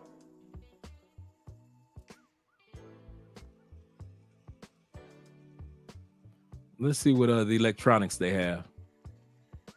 Oh, I remember those. I remember those circuits components. Yep. There we go. That was me right there. Yep, I remember that. Yep. Tearing down and building up computers. Kid you not, man. If you guys ever wonder where your old computers are, I'm about to go go to the super chats now. Thank brother for for reminding me. If you guys ever wonder when you throw out a computer or something, where they go, where old office computers go, or school computers go, they bring them to directly to the federal prisons. We tear them down for parts, and they sell the parts separately. Kid you not, because that was my department. Kid you not, bruh. Let me hit to the super chats. Shout out to you, brothers. Let me make sure I don't miss anybody. I know my brother said he got his ticket to the Black Manosphere Conclave. Shout out to you, brother. Shout out to my man Ray P in the building. He said remote jobs for the win, mailing address, co soon or coming soon. Shout out to Taylor Made Dreams once again, and my man David. He said they wonder why we why we avoid black women completely acting out overseas. No behave, no behavior. That's for real. Shout out to my man Jerron once again with the two dollar. He said there's a countrywide red alert for her for her uh, currently. Wow, they looking for her for real. And shout out to my brother Jeffrey Rice for becoming a member. Make sure you guys become a member of our channel because we will be having members only lights as, as well for YouTube. Shout out to Kings of Dreams once again. He said, "Facts, you Zoom, TMD, etc. You have a you have a leveled up. Very true." Shout out to my man Kings once again. He says the grind doesn't stop. YouTube is work, bruh. He said nothing wrong with paying dues, respect, and I respect those who pay their dues too. That's why that's why I was just a fan of a lot of people that I reach out to now. Cause I was like, there's a time for everything, Andre. You and Andrea just focus on what y'all need to focus on, and the doors will open. And they did, man. And so many people have reached out to us that we never knew that watched our channel. Shout out to BMT, Zoom to Thailand, Taylor Made Dreams, and all other brothers traveling. Yes, sir. Shout out to you, Brandon. He says, shout out, keep up the Facebook group. Yes, sir. We winning, bros. We winning. Shout out to you. And Brandon also said, shout out to BMT once once. Oh, yeah, just I just did that one. And my man in the building. Morning drive coffee break. Shout out to Andre BMT and the rest of these crews. Yes, shout, shout out to you. And my man Jaleel with the $20. He said, just showing love, Unc. He said, uh, I don't say much, but you and all the brothers are doing the Lord's work. Can't wait to get started with Theo. Theo's course. Shout out to Theo Waff. Shout out to him in September. Yes. Shout out to you, brother. Hey, man. It, it's it, hey Theo's. Like I said, I was invited in as a silent guest. Man, it's a hundred brothers and sisters off in his class, man. For real, they deep up in there. They are deep up in there. They're serious about getting that six figure money. Shout out to you, brother. And my man Gregory's in the building once again. He said, "Salute, Andre." The three uh, cases. Oh, we, I think I read that one in regards to cultural condition. Yes, sir. Thank you very much, brother. I hope I hit everybody's super chat. I hope I didn't miss any. Let me scroll down and make sure I didn't miss anybody. I got Wills, I got Timothy, I got Ethan, Kings, I got Green Lantern, Kings, Samyaza in the building, Mr. Jersey himself. I got Myra in the building. Got Jay. Yeah, I got. I think I got everybody now. Thanks for reminding me, brother. Hawk said, "That's not a black woman." hey, LGBTQ, y'all gonna have to take that L on that one in Thailand. Y'all gonna have to take that L, man. We don't hear too much from y'all, but on this one in Thailand, yeah, that's y'all. That's all y'all LGBTQ. That's all y'all brothers and sisters. Wade says, he said, I can't believe it. America is weird. I wish I, I could uh I could leave, man. Trying to find ways uh how to leave the US for good. The key, the first thing is, is I'm telling you, the top secret, patience. Patience, man, because the door will open, man. It took a minute for my door to open. It's going to take a minute for your door to open. But when it does, you're going to be so appreciative. I didn't know how I was going to do this. I'm just sitting in my cubicle one day. Like I said, I'm making good money. I'm living in Tampa, Florida. I'm riding my convertibles and my, my F 150 truck. I'm living a, a, good life. I'm making about 80, 87,000 a year. But I was not happy. I'm smashing chicks from all over the world because I live in Florida. Still wasn't happy. But I didn't know how I was gonna get it done. But I started watching Taylor Made Dreams. I started watching Ace Live. He had just started. I am Marwa. Uh, uh, Jabril with uh, uh, uh, Passport Heavy. You know, I started watching these brothers, and it just encouraged me, even though I didn't know where I was gonna do it. Just to be encouraged by seeing other black men doing their thing the universe just opened up the doors slowly but surely. And I started traveling. And then when I got here, I was working online like you guys are doing, like many of you guys are doing. And then that's when Ace suggested YouTube. So I was doing both. And then all of a sudden I just switched over to YouTube. And then all the other uh, business opportunities came about while I was here. While, not while, but while.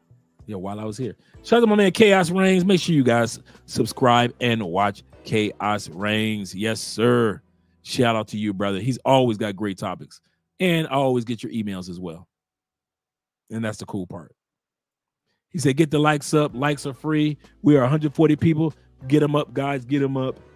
He said, Andre, uh, Andre shows that even when it seems like you have it all, you can still be dissatisfied. Yes. I'm always on learner mode. And I, one thing I learned when I was sitting in that cubicle, I w- I wasn't happy. You can have everything, dude. I had a nice house in in uh in Riverview. Riverview is like a suburb of Tampa. I got the Ford F one fifty Harley Davidson edition. Edition. I got my convertible Saab, old school. So I'm riding through the city on the weekends, enjoying my my ball here, blowing in the wind. I man, with a convertible, you just drive for no reason at all. You just drive just to be driving. I'm smashing chicks from all different nationalities. All dude, if they were from somewhere on the planet, they gonna end up in Florida, and you gonna end up having a chance to smash them. And I really wasn't happy. I didn't have any peace. I'm still dealing with the the stress of this. Didn't realize how stressed out I was until I left the states. And I'm talking about just, you know, a trip here, a trip there. And I started realizing, man, I gotta, I gotta get out of here. But the first one to do it all was, yep, Charles Tyler. Yep. I don't remember uh uh uh Morris. I don't remember Morris. In Ace Adventures, yep. In Thailand. Yeah, I do remember that. Uh, blew the doors open for me. Shout out to them. Shout out to you, Steele.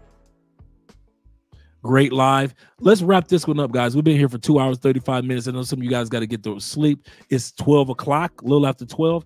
Let's let you guys get some rest. Thank you guys for being here with me. And we talking about the countries in which Diddy can steal without have to worry about. And we didn't talk about Cuba either, but we, we don't want to put Cuba on that list. But extradite you know, countries where they will not send him back to the states. Shout to Ace Live. Ace, uh, Ace is Ace Live, who is introducing me to a uh to the Black Man Travels space. Oh yeah, oh yeah, oh yeah. I've been knowing Ace Man since whoo, whoo, for a hot minute. Bedtime, big bro. Yes, sir. Yeah, that's why I told you guys my story and my experience in in the federal indictments and where where's where Diddy stands and what's going on from the perspective of somebody that's been through it. It's one thing for people to talk about it. It's another thing to be the person that been through it. To be able to tell you the, the whole story of what's going on step by step with Diddy. Yeah, it ain't looking good. If he if he gets out of this one, man, oh, it's a miracle. Shout out to my brother in the building. Glad that you're here. Let's go. As well as my man Carlos. He says, You simply need to go where you are welcome. Yes, sir. Where you are welcome. Just learn to do the do's and don'ts. He said, I'm in Germany. Shout out to Germany, man.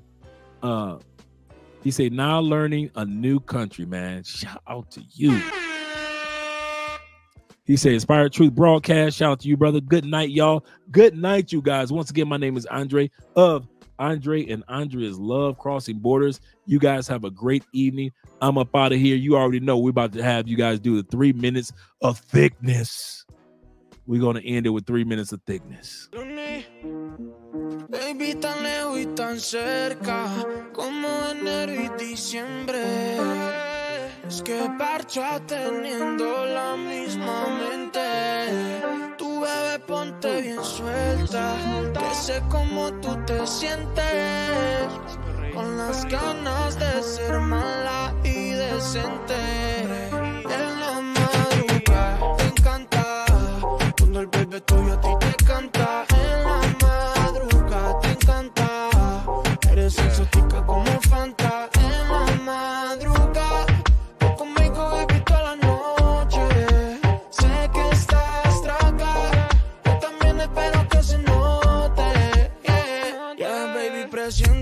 Tú eres lo llamado felicidad. Que hasta la cama la ponemos a temblar. Tus padres hablan, pero no saben nada más. Lo que tú sientes conmigo, adrenalina baby dándote casico. Yeah. Y pues baby, pa' que sigo. Si no escuchan lo que digo, es de nosotros saber cómo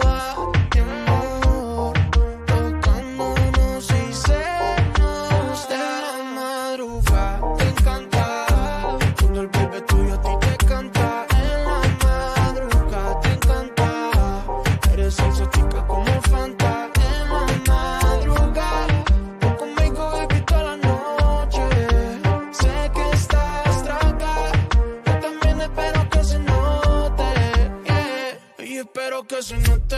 Vale mucho más que los lingotes. Somos la bichote y el bichote. Esto es reggaetón puro. Perreamos duro y down.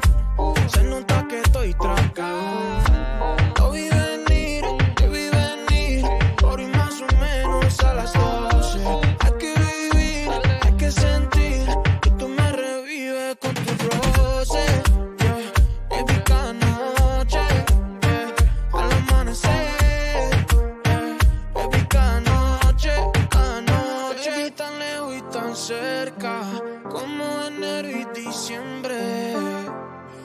Es que parcha teniendo la misma mente. Tu bebé ponte bien suelta. Que sé cómo tú te sientes. Con las ganas de ser mala y decente.